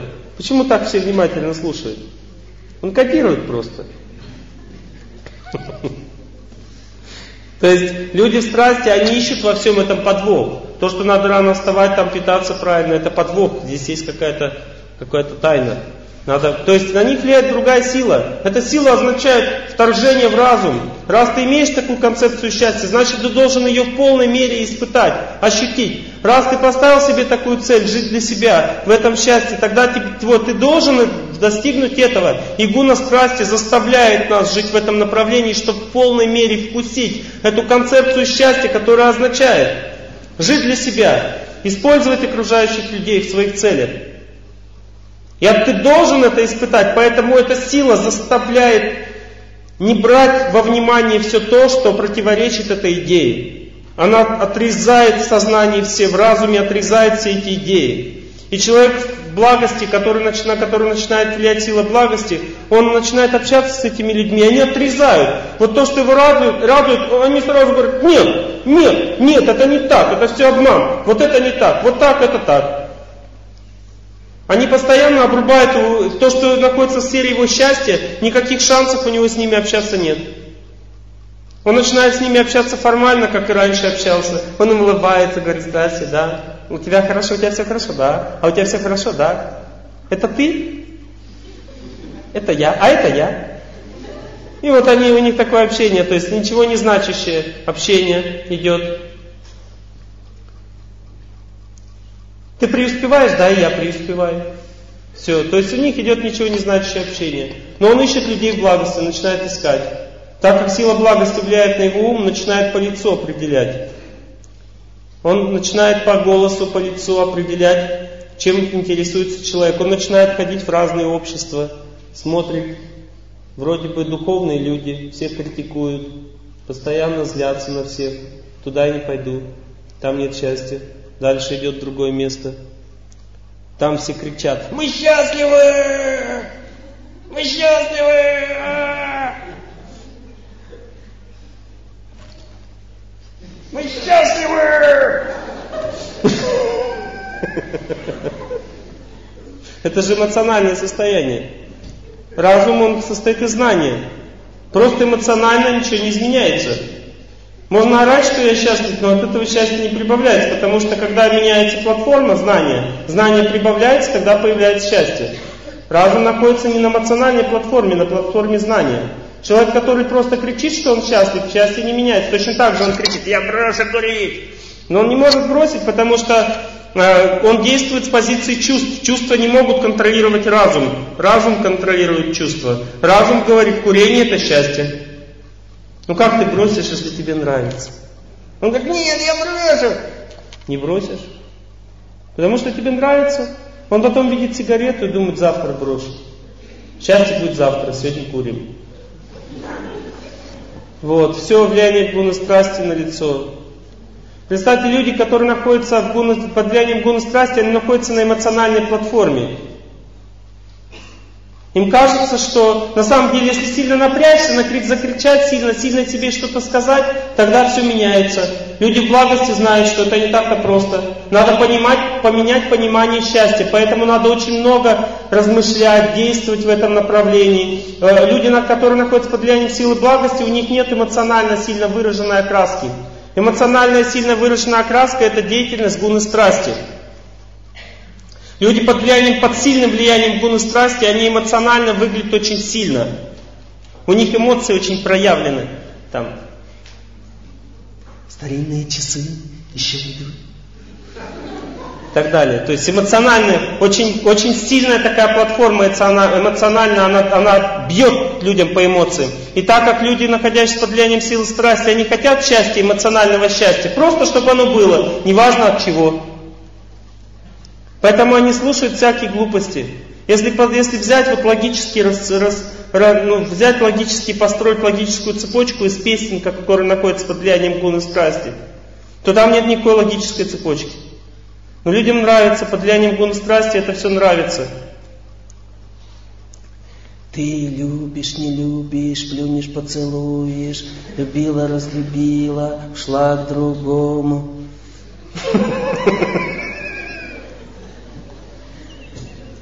Никакой логики. Всем нравится, все очень танцуют, все танцуют под это. Вот. Это означает влияние силы страсти. Никакой, просто глупости все. Люди благости, они смотрят, думают, зачем они здесь, что они делают? Чем они занимаются? Почему они так двигают ногами, руками? Почему они слушают эту глупость? Она же ни о чем не говорит им, эта песня. Люди в благости ищут счастье с позиции знания. Они не хотят вот этой глупости всех, они насмотрели уже на глупости, насмотрелись. Так влияет гуна благости. И поэтому, если человек может объяснить свою концепцию счастья, они слушают. Если не могут, они не могут, они говорят ему goodbye. Ищут другого, кто может. Следующий момент, который очень важно знать. Под влиянием гуны благости человек начинает чувствовать благость во всем. Он автоматически начинает понимать, что такое благостное питание, что такое благостная одежда. Он начинает чувствовать, а, как надо благостно устроить свою квартиру. И это ощущение, оно не основывается на чувствах, оно основывается на знании. Он начинает сравнивать все с какими-то писаниями. Он хочет действовать под руководством, чьим-то руководством, потому что гуна благости, она говорит человеку, ты не знаешь. Гуна благости, гуна страсти говорит человеку, ты знаешь, ты можешь. Гуна страсти, гуна благости говорит человеку, ты не знаешь, но можешь узнать. Понимаете? Ты не знаешь. Поэтому человек заранее ставит себя ниже знания. Человек страсти ставит себя выше знания. Он приходит на лекцию, он говорит, я это знаю, я это знаю. Он ставит себя выше знания. Человек в благости ставит себя ниже знания. Он думает, это я не знаю. Это я не знаю, это я не знаю. Я ничего не знаю, о чем здесь говорится, я хочу понять глубже. Мне надо, и он хочет прибежище, он хочет какое-то знание, которое бы ответило на все его вопросы. Он, он хочет стабилизировать, фундаментализировать свой разум. Оказывается, только знание дает фундамент разуму. Знание, на которое можно опереться. Человек благости, он ищет знание, на которое можно опереться и держаться за него. А что такое сила разума? Благости означает, что человек все свои действия сравнивает с каким-то определенным знанием. Его не интересует ничего другое, только сравнение с этим знанием. А в соответствии с этим знанием я правильно поступаю или нет? Он думает об этом постоянно. Человек страсти, у него нет направленности одной разума. Его знание означает счастье прямо сейчас. Он хочет плодов. Человек благости знает, что счастье сейчас есть, но больше счастья будет, когда я сам стану лучше. Поэтому он хочет сначала стать лучше, он не ждет счастья, он знает, счастье придет обязательно, это гарантированно. Он, он работает с любовью к труду. Человек в, страсть, человек в страсти, когда планеты влияют хорошо, он чувствует радость от труда. Ему хорошо трудиться сегодня. И он на следующий день приходит, и он наслаждается сразу. Он забывает про труд, он садится и думает, как хорошо. Он хочет радоваться, он хочет испытывать счастье. Ему некогда трудиться. Он хочет плодов. Человек благости думает, мне это чувство, вот, что мне хорошо, оно мне мешает. Я должен трудиться, я должен любовь свою вкладывать в труд. Тогда будет счастье. Если я сейчас буду наслаждаться, сидеть, просто радоваться, счастья не будет, оно уйдет. Он знает это. Если меня хвалит, счастье уйдет. Надо, чтобы не хвалили. Если, если ко мне хорошо относятся, я плохо отношусь, значит счастье уйдет. Я должен хорошо относиться первым, а не вторым. Понимаете, человек благости находится под такой концепцией. Он хочет в действии получить счастье, а не в плодах. Понимаете эту идею? Таким образом, человек благости, находящийся под влиянием силы благости, он как бы сильно концентрирует свой разум и пытается углубить свое понимание счастья. В этом заключается деятельность его. Поэтому он находит самый лучший способ, как это сделать. Он находит формулы, древние формулы, которые, повторяя каждый раз, можно углубиться в знания. Эти формулы не что иное, как молитвы. Он начинает повторять одну и ту же эту формулу и сильно концентрируется, и постепенно все глубже и глубже входит в это состояние счастья. Он не хочет повторять что-то другое. Человек страсти ищет что-то другого. Ему невозможно одно и то же повторять. Он говорит, я это уже понял. Все, мне надо что-то другое. Итак, человек под влиянием силы благости очищает свой разум, его карма становится все лучше и лучше, он сжигает, живя, просто живя, он сжигает все свои прошлые грехи. Его жизнь становится все лучше и лучше, и поэтому, само собой, он живет просто так, он не пытается влиять на окружающих людей. Он знает, что я не могу, не могу изменить себя, как я могу изменить тогда его? Я не могу с собой-то ничего сделать, как я могу ему помочь? Он начинает изучать, как правильно жить, он всем, ко всем доброжелательно относится, он понимает, как трудно изменить себя, поэтому такой человек благости, он не трогает сына наркомана, ему его очень жалко, он сострадает ему. В результате сын наркоман думает, у меня папа изменился, он стал лучше, он ко мне хорошо относится. Понимаете, меняется отношение. Сын наркоман начинает уже слушать. Что говорит папа? Потому что он чувствует, что от него не идет вот эта сила, желание поменять, желание как бы пересилить его. Понимаете? Он не чувствует, что от него идет насилие. И таким образом человек благости, просто живя благостной жизнью, меняет окружающих людей. Вокруг него все начинает меняться, люди начинают становиться лучше.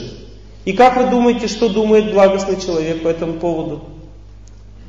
Он думает, на самом деле так тяжело из наркомана стать нормальным человеком. И мой сын способен на это. Я не способен был ничего сделать. Я пытался ему помочь, но он никак не поддавался этому моему влиянию. И он сам вдруг воспрял, и он стал лучше. Я не достоин такого человека.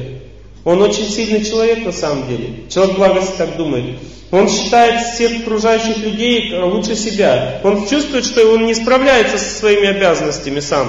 Но люди окружающие, они воспевают духом сами. Он чувствует, что у них сила какая-то есть внутри, которую он не достоин. Он начинает ценить людей. Не, понос... не, не, не фальшиво. А в гуне страсти все ценят друг друга как? Просто чисто формально. Потому что если ты не будешь ценить, тебя вытурят просто из коллектива. Даже отношения в семье в гуне страсти, там нет любви.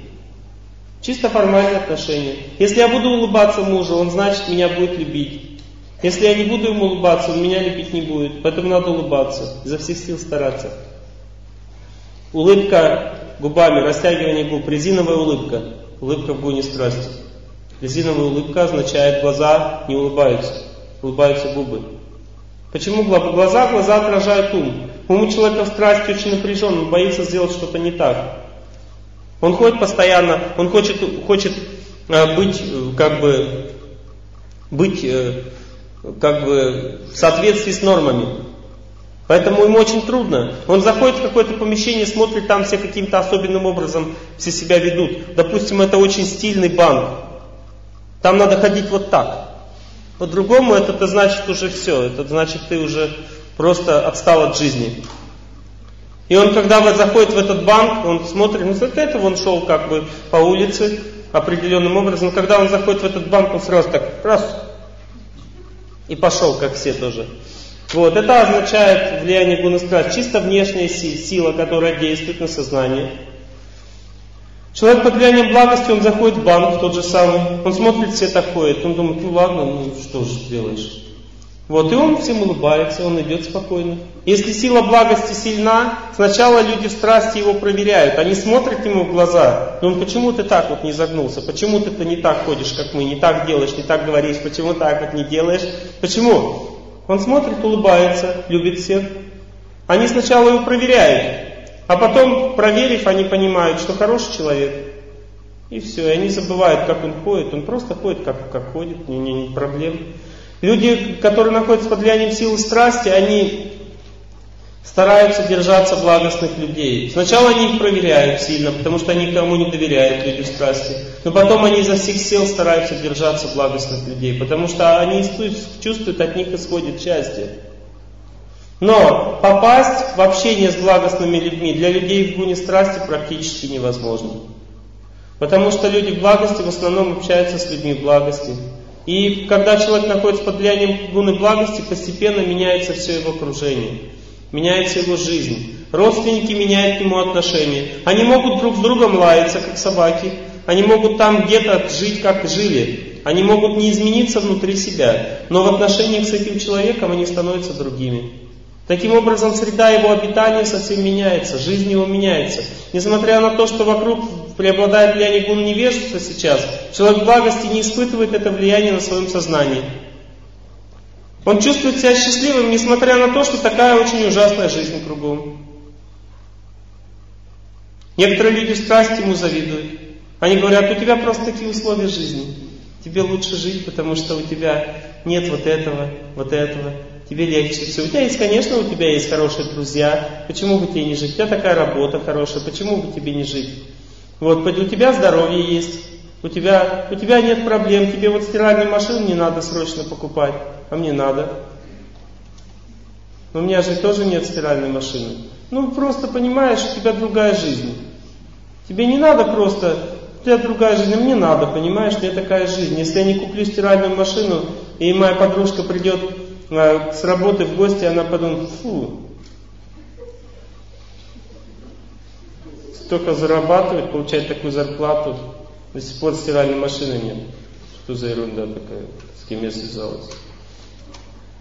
Вот, то есть э, Гуна страсти заставляет жить в этом ракурсе людей. Гуна благости, она действует по-другому. Человек под влиянием гуны благости, умирая, озаряется светом счастья. Его лицо улыбается, хотя он испытывает какие-то боли, но он не придает этому большого значения. После смерти его, он умирает в спокойном состоянии сознания. После смерти его лицо источает а, такое ощущение счастья. Человек под влиянием силы страсти, умирая, очень сильно корчится, мучается. Человек под влиянием силы невежества, умирая, он испытывает жуткие страдания, дикие крики издает. И он мочится под себя в момент смерти. Или под себя ходит в туалет. Это значит, что именно через нижний центр душа выходит, на нижние планеты.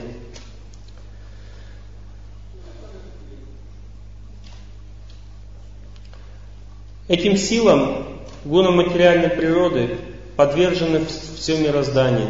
Нет ни одной частицы, ни одного, ни одного объекта в этом мире, которое бы не находилось под влиянием этих сил. Человек благости это очень тщательно изучает. Цвета находятся под влиянием этих сил. Если ты не тот цвет носишь, значит ты находишься под влиянием не тех сил. Ты должен правильно носить одежду, ты должен правильно кушать, ты должен правильно общаться с людьми, ты должен правильно э, выбрать себе место для, для того, чтобы спать, ты должен в правильном направлении спать, ты должен вовремя вставать, вовремя есть, вовремя ложиться спать, должен делать то, столько как человек устраивает, куда я попал, Бог ты мой, как робот же надо жить. Но человек благости знает, что если он делает так, то жизнь сама делает его счастливым. Человек страсти, он бьется головой об стену и думает, ну зачем я пойду в эту дверь? У меня есть свобода выбора. Поэтому бьется головой об стену. Человек благости изучает дверь. Он изучает, идет в дверь. Человек страсти думает, фу, он какой-то однобокий. Вставать в одно и то же время каждый раз. Но это дверь. Это выход к счастью. Человек с благости чувствует, где счастье. Поэтому он встает в это время, он знает, что счастья нет в другом случае. Поэтому человек благости внешне кажется, что он живет как робот. Но если человек в благости смотрит на человека в благости, он видит, что на самом деле внешняя эта деятельность, как будто как робот, она на самом деле ничего подобного. Его жизнь абсолютно свободна, потому что его жизнь находится в разуме. Понимаете, не в, не в поведении, не в том, куда идем, а в том, что находится внутри. Существуют очень большие таблицы, что находится в благости, в страсти и в невежестве. Корова находится в благости, крупно, копытные животные находятся в страсти, другие. А все остальные животные находятся в невежестве. Дальше. А, пчела находится в благости из, из насекомых. Муха находится в невежестве, бабочка находится в страсти. Из деревьев, допустим, а, береза вот из местных, все, все плодовые деревья с сладкими плодами находятся в благости. Все деревья, которые э, очень сильно растут, быстро очень сильно растут, находятся в страсти. Все ядовитые деревья находятся в невежестве. Ядовитые кустарники и так далее. Так далее. Во всех формах жизни есть проявление благости, страсти и невежества. Местность. Горы находятся в благости, равнина страсти, низина в невежестве. Водоемы. Водоемы. Проточная река находится в благости, болото находится в невежестве. Стоячая вода находится в страсти. Просто. Люди в невежестве ходят на болото попить водочку. Люди в страсти ищут стоячую воду купаться. Люди в благости ищут проточную, чтобы она текла, чтобы была свежая. Горная речка им нравится. И так далее. То есть каждый находит свои условия жизни в соответствии с гунами, которые влияют на сознание.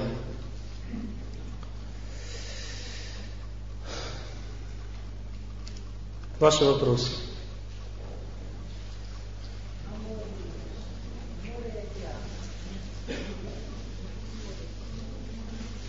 В целом, как бы надо понять, что разная местность находится в разных гунах. Море, оно находится в благости, океан тоже.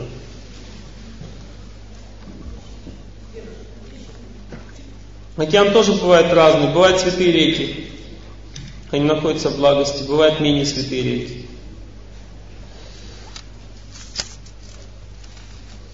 Пожалуйста, не стесняйтесь задавать самые нелепые, может быть, вопросы, как вам кажется. Что делать, если ребенок 8 лет, девочка э, грызет все подряд? Как от этой привычки избавиться? Помогите. Мы говорим о гуне благости.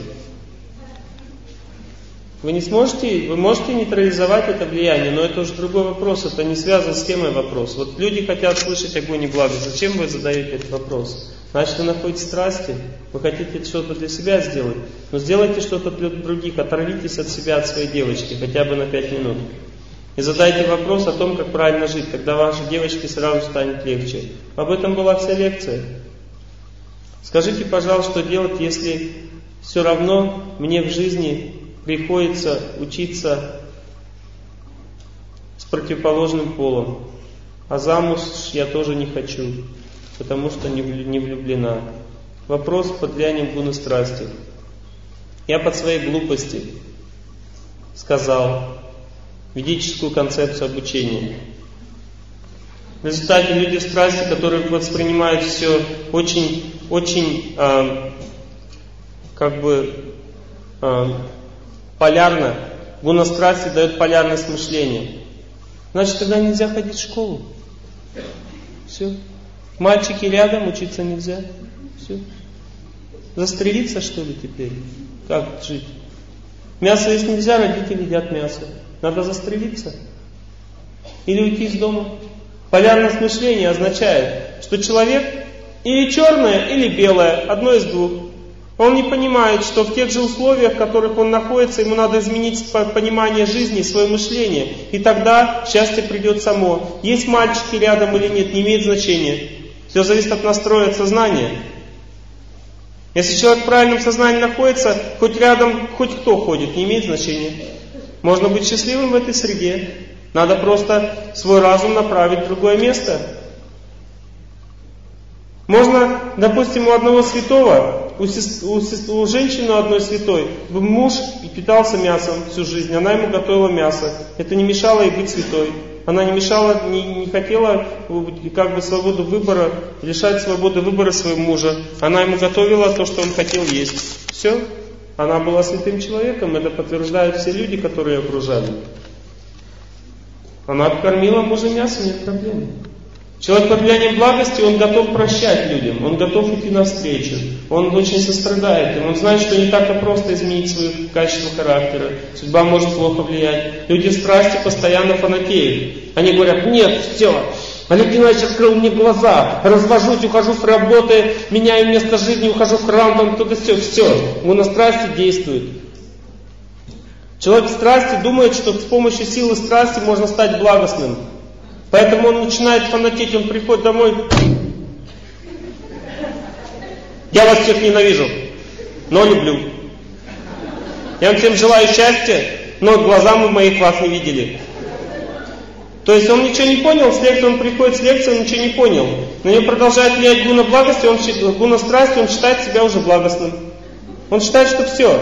Знаете почему? Потому что гуна страсти, она очень все дешево, очень, как бы, очень, человек под влиянием гуна страсти очень дешево все воспринимает. Он думает, что я лекцию послушал, все, вот теперь я понял. Да ничего не понял. На самом деле понимание до понимания еще очень далеко. Потому что человек благости, он испытывает сострадание ко всем близким людям. Он никогда не будет лишать им свободы выбора. Он никогда не будет плохо думать о них, говорить. Понимаете? Это означает гуна благости. Он третировать никого не будет.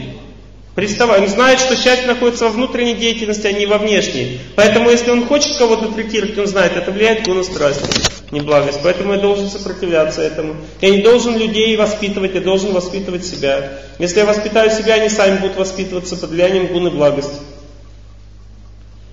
Кто написал Веды? От, откуда пришла нам эта информация? В Ведах описано, что Веды описаны Богом, написаны Богом. Как это проверить? Существует, Бог означает абсолютная истина. То есть существуют люди, которые подтверждают это своей жизнью. Если информация идет от абсолютной истины, значит много последователей этого знания будут обладать силой, способностью быть очень возвышенными людьми. И я прежде чем изучать веды, я начал изучать, кто несет это знание. Я начал изучать историю, биографии этих людей. Я пришел к выводу, что они на самом деле обладают колоссальной силой чистоты. Колоссальной чистотой. Если чистое знание на сознание влияет, люди меняются очень быстро. Допустим, Шила человек, который принес вот понимание, правильное понимание вет в западный мир, когда он приехал в Америку, у него появилось много последователей, которые сразу бросили пить, курить, заниматься развратом, употреблять наркотики, есть мясо.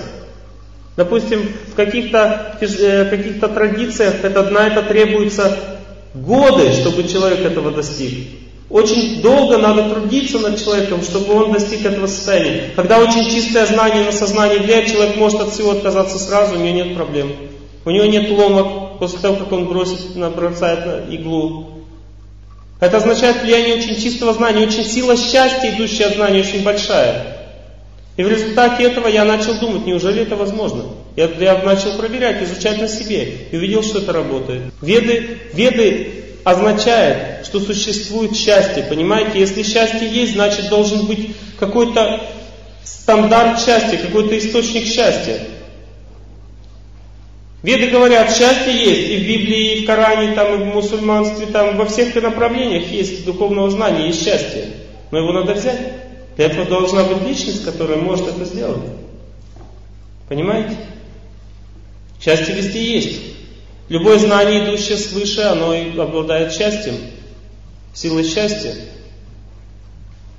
Веды передавались по цепи ученической преемственности. Эта цепь вся в ведах самих зафиксирована. Там описывается их жизнеописание, этих людей, которые передавали веды. Пять тысяч лет назад был, э, то есть есть не было, а есть. Есть такой мудрец Ясадева. Он, э, он записал на Земле пять тысяч лет назад, началась эпоха, в которой мы живем, эпоха деградации. В предыдущую эпоху память была абсолютно, ничего не надо было записывать, люди все запоминали. Потом, когда начала эпоха деградации, память начала ухудшаться. Вы видите, что у, у ребят, у детей, которые рождаются сейчас, память намного хуже, чем была у вас в молодости. Это означает, идет деградация. Снижение памяти означает деградация. И поэтому в Ясадева он записал ведические знания. Он основные, основные постулаты записал. У него очень много томов, эти там, Э, десятки томов вот этих, этих записей. Но кроме того, Веды записаны также и другими великими мудрецами не у нас, а во всей Вселенной. Если, допустим, я вам скажу, что, допустим, Парашара Пурашастра, а, это астрологический трактат о том, что такое астрология, написано мудрецом Парашары. Он живет на высших планетах. Это знание мы читаем прямо здесь. Вы посмеетесь надо мной и скажете, ну это ты уже загибаешь. Оно написано им, это знание мы имеем. Но кто может поверить мне из вас? Надо это изучать, смотреть, как это работает на практике, и тогда можно это... Есть два вида науки, понимаете? Наука в страсти означает практический эксперимент, я тебе верю. Нет практического эксперимента, я тебе не верю. Практика для нас – это деятельность среди молекул, атомов и всего прочего. Но веды находятся в сфере ума. Кто из ученых может сейчас поставить практический эксперимент с умом? Умствен... Энергия ума тоньше любых атомов электронов. Ведический мудрец может поставить эксперимент с умом, потому что его ум чист и он работает как прибор. Веды говорят, а истину надо изучать с помощью другого прибора, который находится в нашей собственной голове. Бог дал нам возможность изучать мир гораздо тоньше, чем все современные приборы, которые существуют. Но для этого надо очистить свой ум. Если твой ум становится как зеркало, ты весь мир воспримешь таким, какой он есть. И ты сравнишь это Писание по своему восприятию с тем, что ты увидел и что там написано, и увидишь, что это знание истины. Все. Это называется научный эксперимент, согласно ведической культуре. Для нас научный эксперимент означает, что надо что-то делать внешнее, для того, чтобы подтвердить. Это же примитивно, мы не можем тоньше атомов ничего сделать. Ну, протонов, ну, нейтронов там и так далее. Но тонкое тело ума тоньше, чем все это. Оно, оно действует, оно движется в миллионы раз быстрее скорости света, веды говорят. Человеку достаточно подумать о ком-то, его мысли немедленно соединяются с объектом в ту же секунду на другой части Земли. С любым человеком, вспомните любого человека на другой части Земли, если он ваш друг. Связь установится, но он не почувствует, и вы не почувствуете. Потому что зеркало ума грязно. Два чистых человека смогут так сделать. Сергий Радонежский сидел, вкушал в, в окружении своих учеников. Потом он неожиданно встал, поклонился и сел опять есть дальше. Потом, когда ученики начали исследовать этот вопрос, оказалось, что в это время проходил на расстоянии несколько десятков километров возвышенный святой его друг. Он как раз повернулся в это время и сделал поклон Сергию Радонежскому. Сергий Радонежский встал, поклонился ему тоже, дальше начал есть.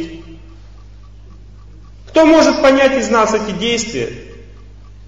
Они чувствуют это на расстоянии, у них тонкое тело ума чисто, у святых людей.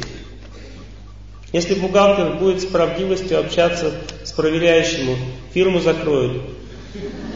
Совершенно верно, я с вами согласен. Как быть, менять профессию? Нет.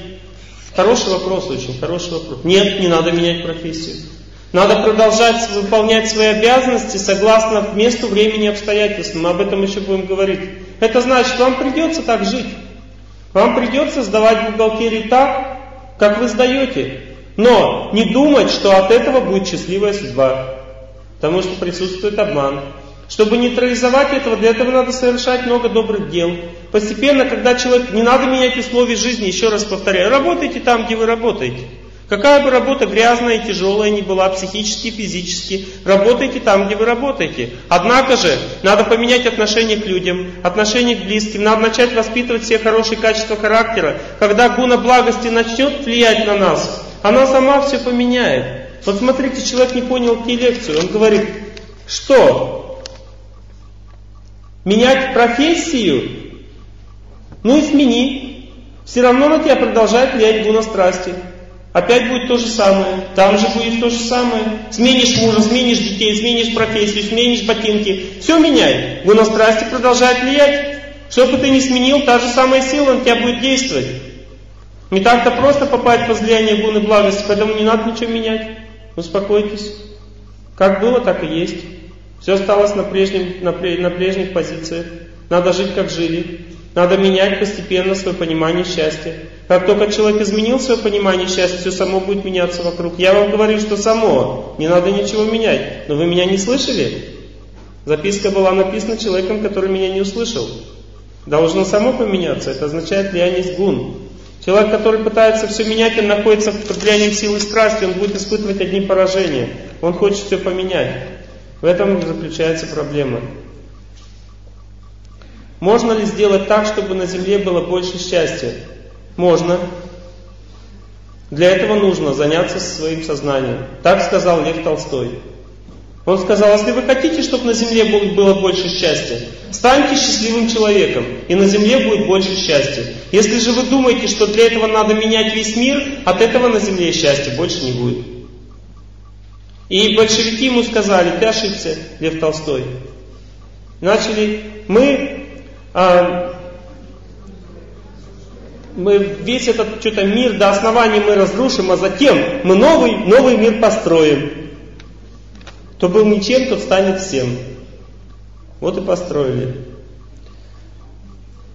Почему в ведические времена было больше счастья? Потому что точно так же, как мы стареем, мы стареем же, правильно? Каждую секунду мы стареем. Точно так же все, все процессы в Вселенной проходят. Поэтому каждая эпоха, она старше другой. У нас существует четыре цикла, четыре эпохи во Вселенной. Как сезоны, зима, э, лето, зима, весна, осень.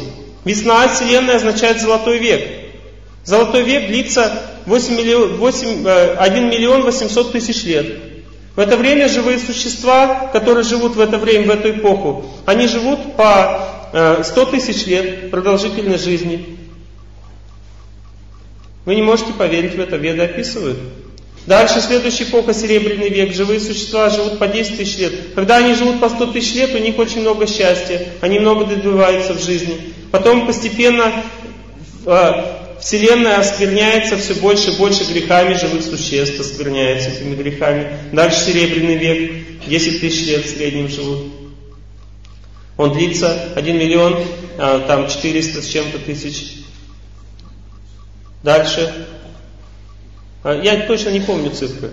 Надо 430 тысяч умножить на 4, это будет золотой век. 432 тысячи умножить на 4. Вот, дальше Бронзовый век. Живые существа живут э, тысячу лет в среднем. И это предыдущая эпоха, господа. Возьмите Библию, там написано, Адам жил 800 лет. Там его последователи уже по 500, по 400, по 300. Вы думаете, что за цифры? Откуда такие цифры? Постепенно они становятся, жизнь становится короче. В Ведах описано 5000 лет назад, 5000 лет назад, средняя продолжительность жизни 150 лет. Там описано, люди жили по 150 лет тогда. 5000 лет назад в Ведах описано это. Сейчас сколько средняя продолжительность жизни? 70, 60, и то меньше, сейчас аборты надо учитывать еще. Одну секунду средняя продолжительность, сколько абортов делают. Итак, Почему хуже? Почему люди жили лучше? Потому что идет деградация, старение. Потом наступает катаклизм, которого предсказывают многие там направления вер, что вот завтра будет э, там все, затопит все. Это, согласно ведическому знанию, произойдет через 428 тысяч лет. 5 тысяч лет прошло. 5102 года с начала нашей эпохи. Вот через такой срок будет деградация, будет э, частичное разрушение Вселенной, потом опять все заново, новая эпоха. Поэтому раньше лучше жили. Завтра будет лучше, чем вчера. Лучше, чем вчера, лучше, чем вчера.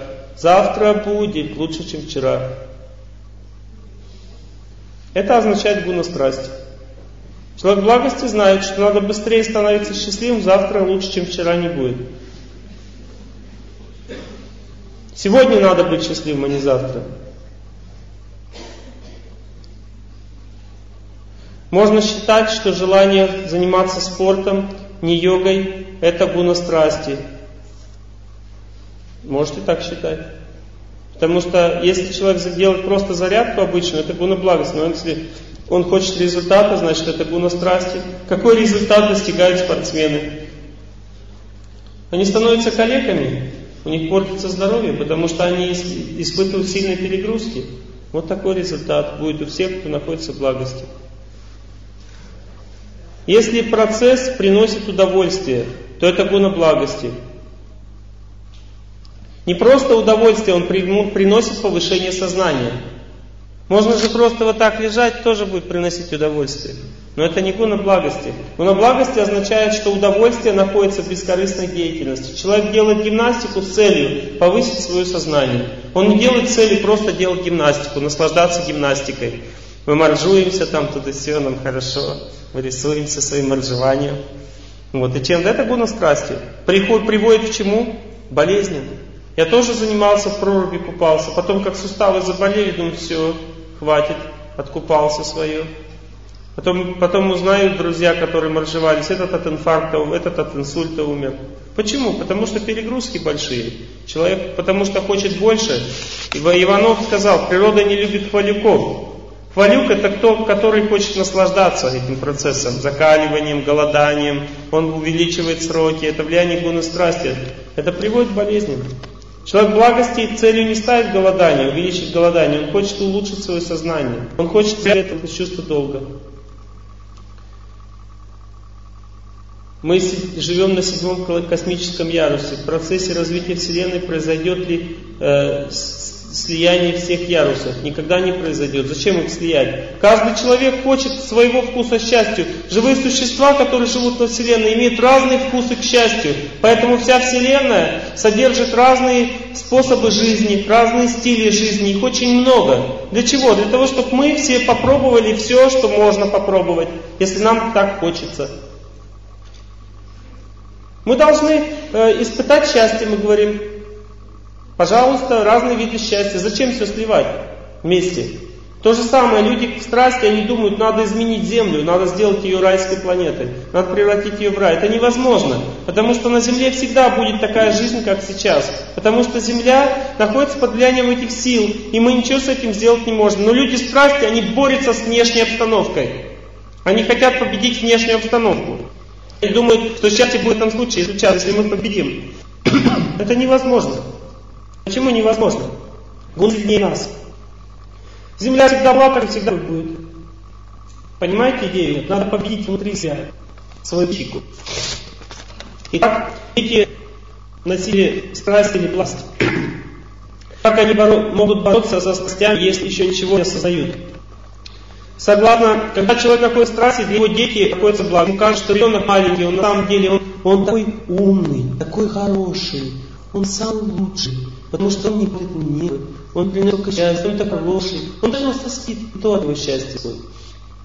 Человек благости знает, что ребенок он полон невежества. Он не знает, он не понимает, как жить, он состоит его невежества.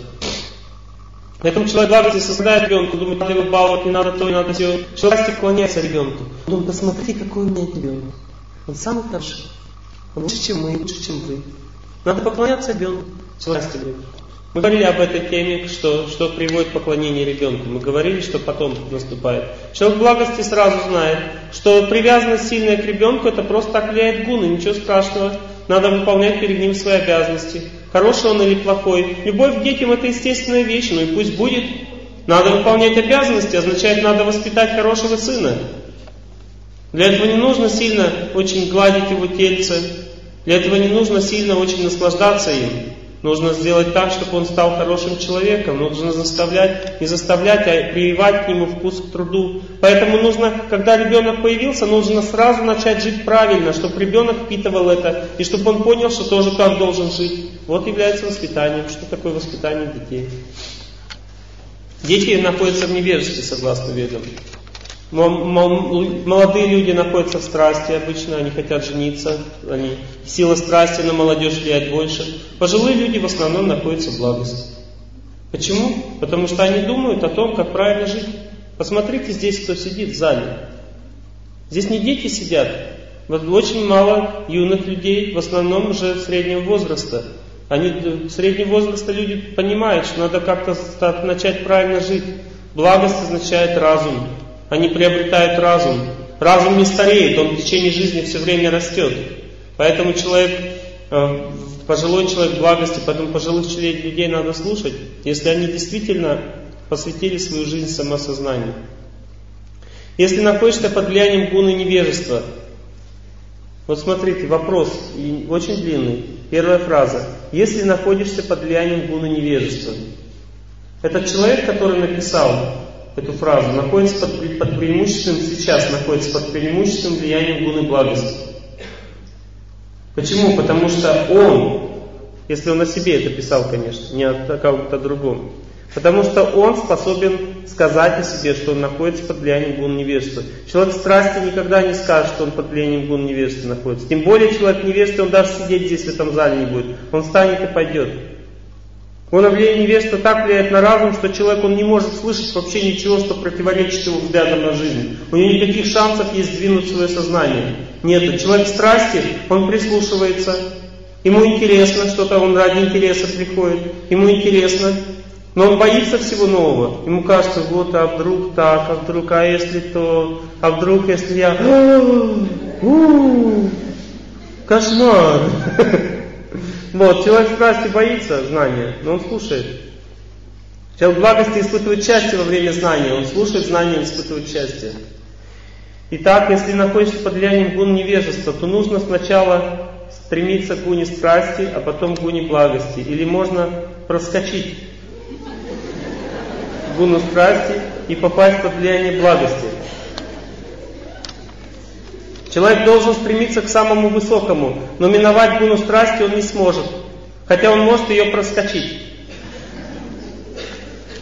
То есть идея такая, человек должен стремиться к благости, он не должен стремиться к страсти. Если он стремится к страсти, он останется в невежестве. Если он стремится к благости, он попадет в страсть. Понимаете? Сначала человек становится фанатиком, это означает гуна страсть, но он стремится к благости. Потом он становится благостным уже, думает, Господи, что это он обедокурил, а? Как я относился к своим родственникам, к своим детям, как они меня терпели все это время. Это же кошмар. Дальше. Скажите, как избавиться от влияния НЛП?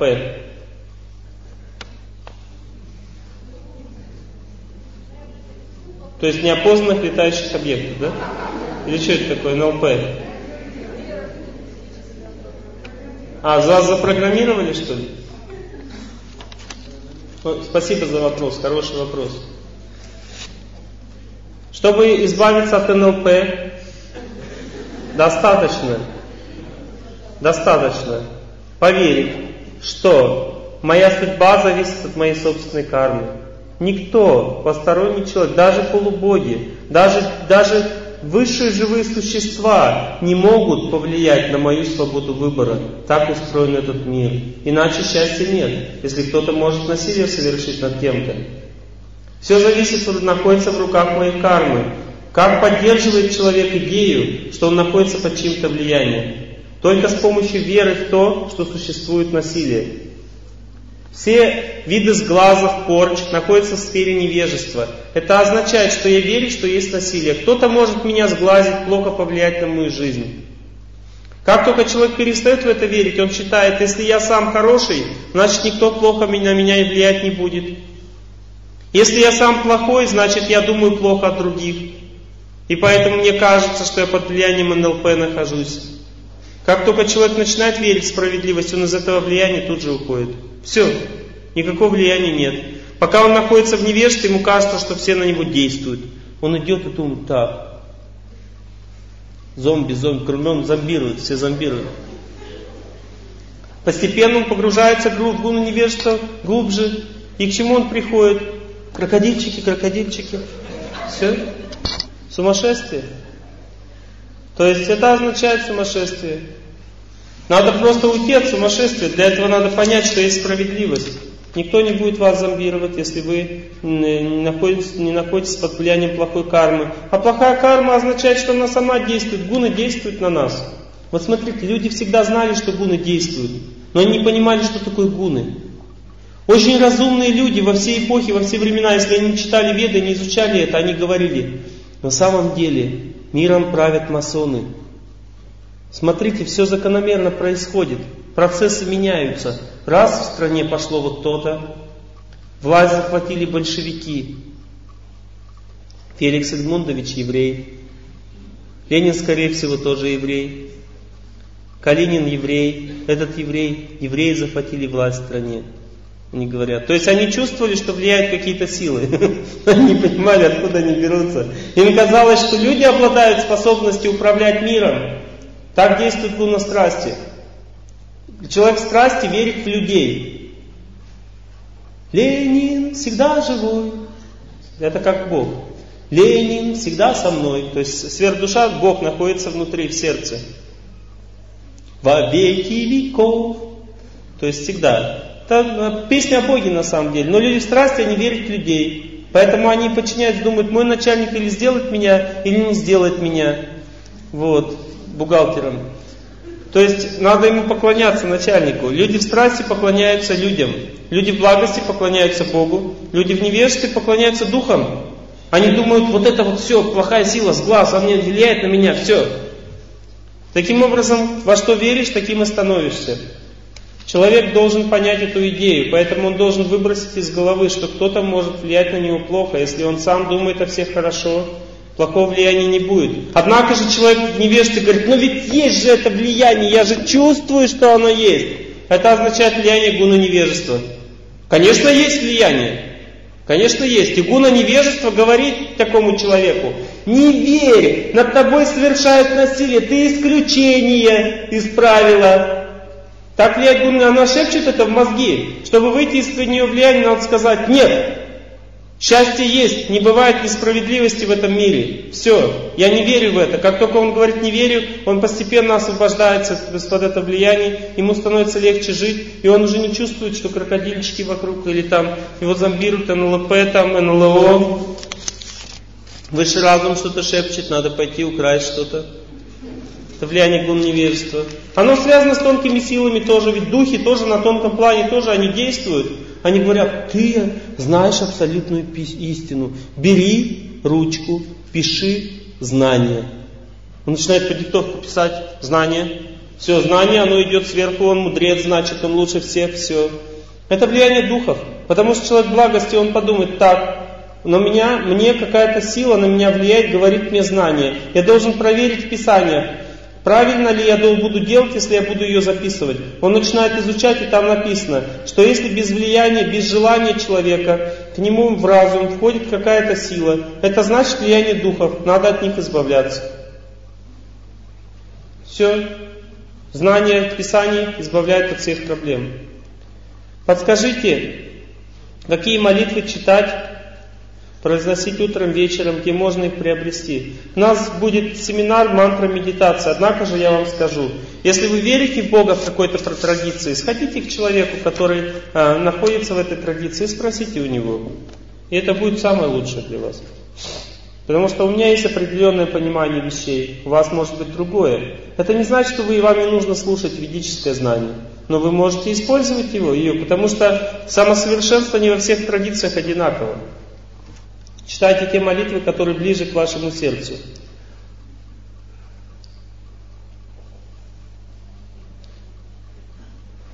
У вас манера разговора, как у Задорнова.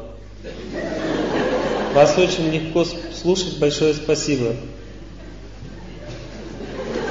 Спасибо за хорошую записку. Она всех развеселила. Можно ли облегчить жизнь женщине 77 лет сахарный диабет. Вот смотрите, человек, находящийся в страсти, думает, что здоровье человека зависит от того, в каком состоянии находится тело. Я развенчал полностью эту идею в своем уме в свое время. Мне пришлось пообщаться с одной девушкой из Австралии, которая полностью обездвижена в 18 лет.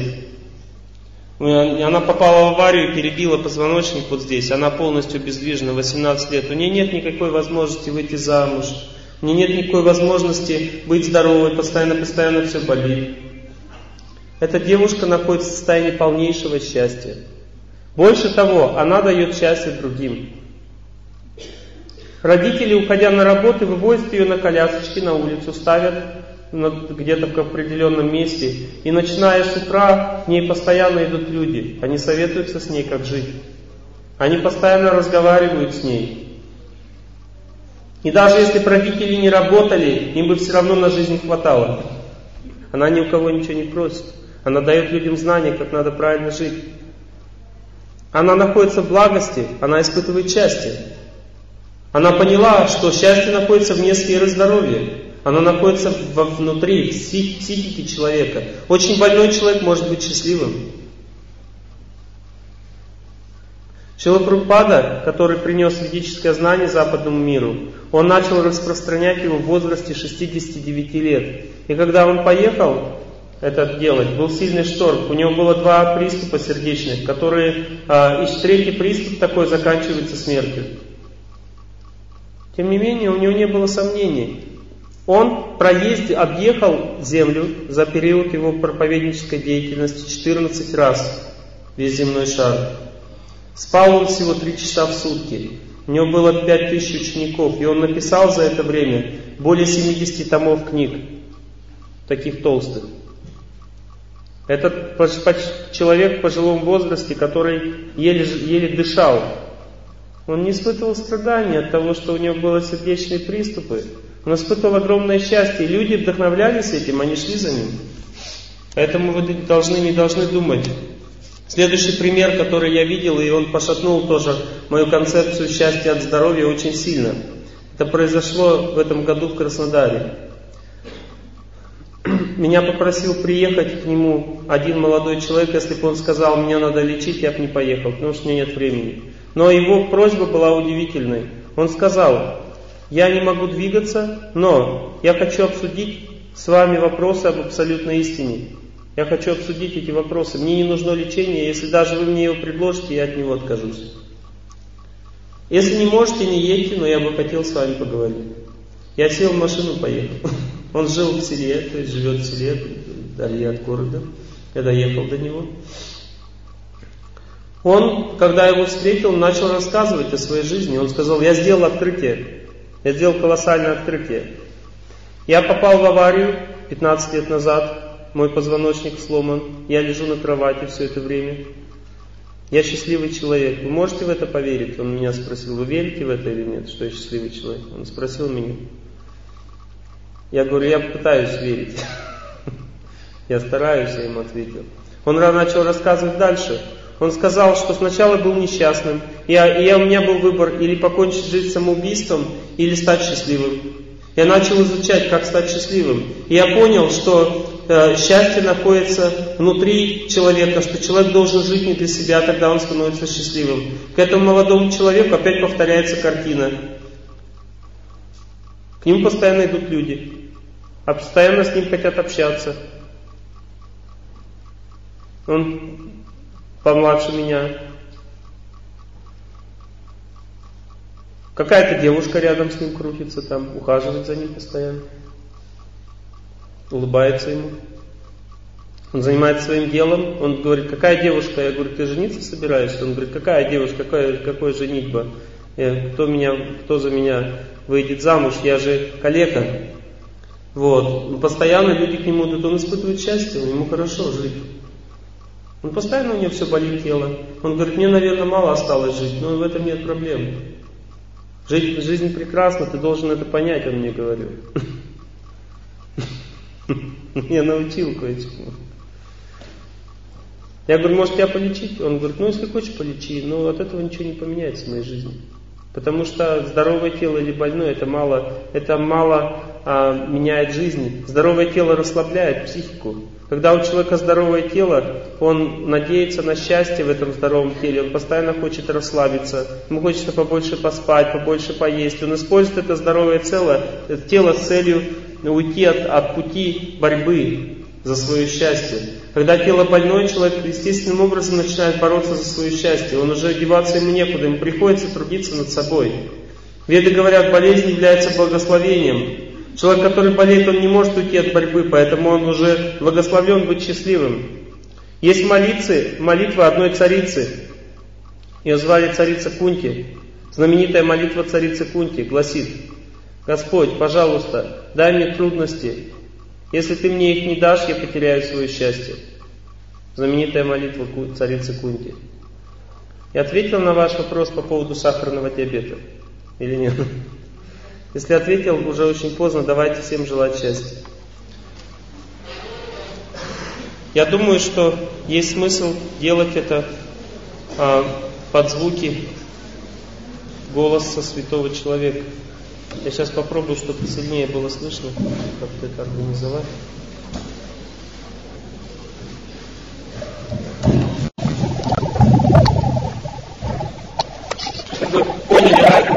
Сами желаем счастья или мы желаем голос святого человека, есть разница.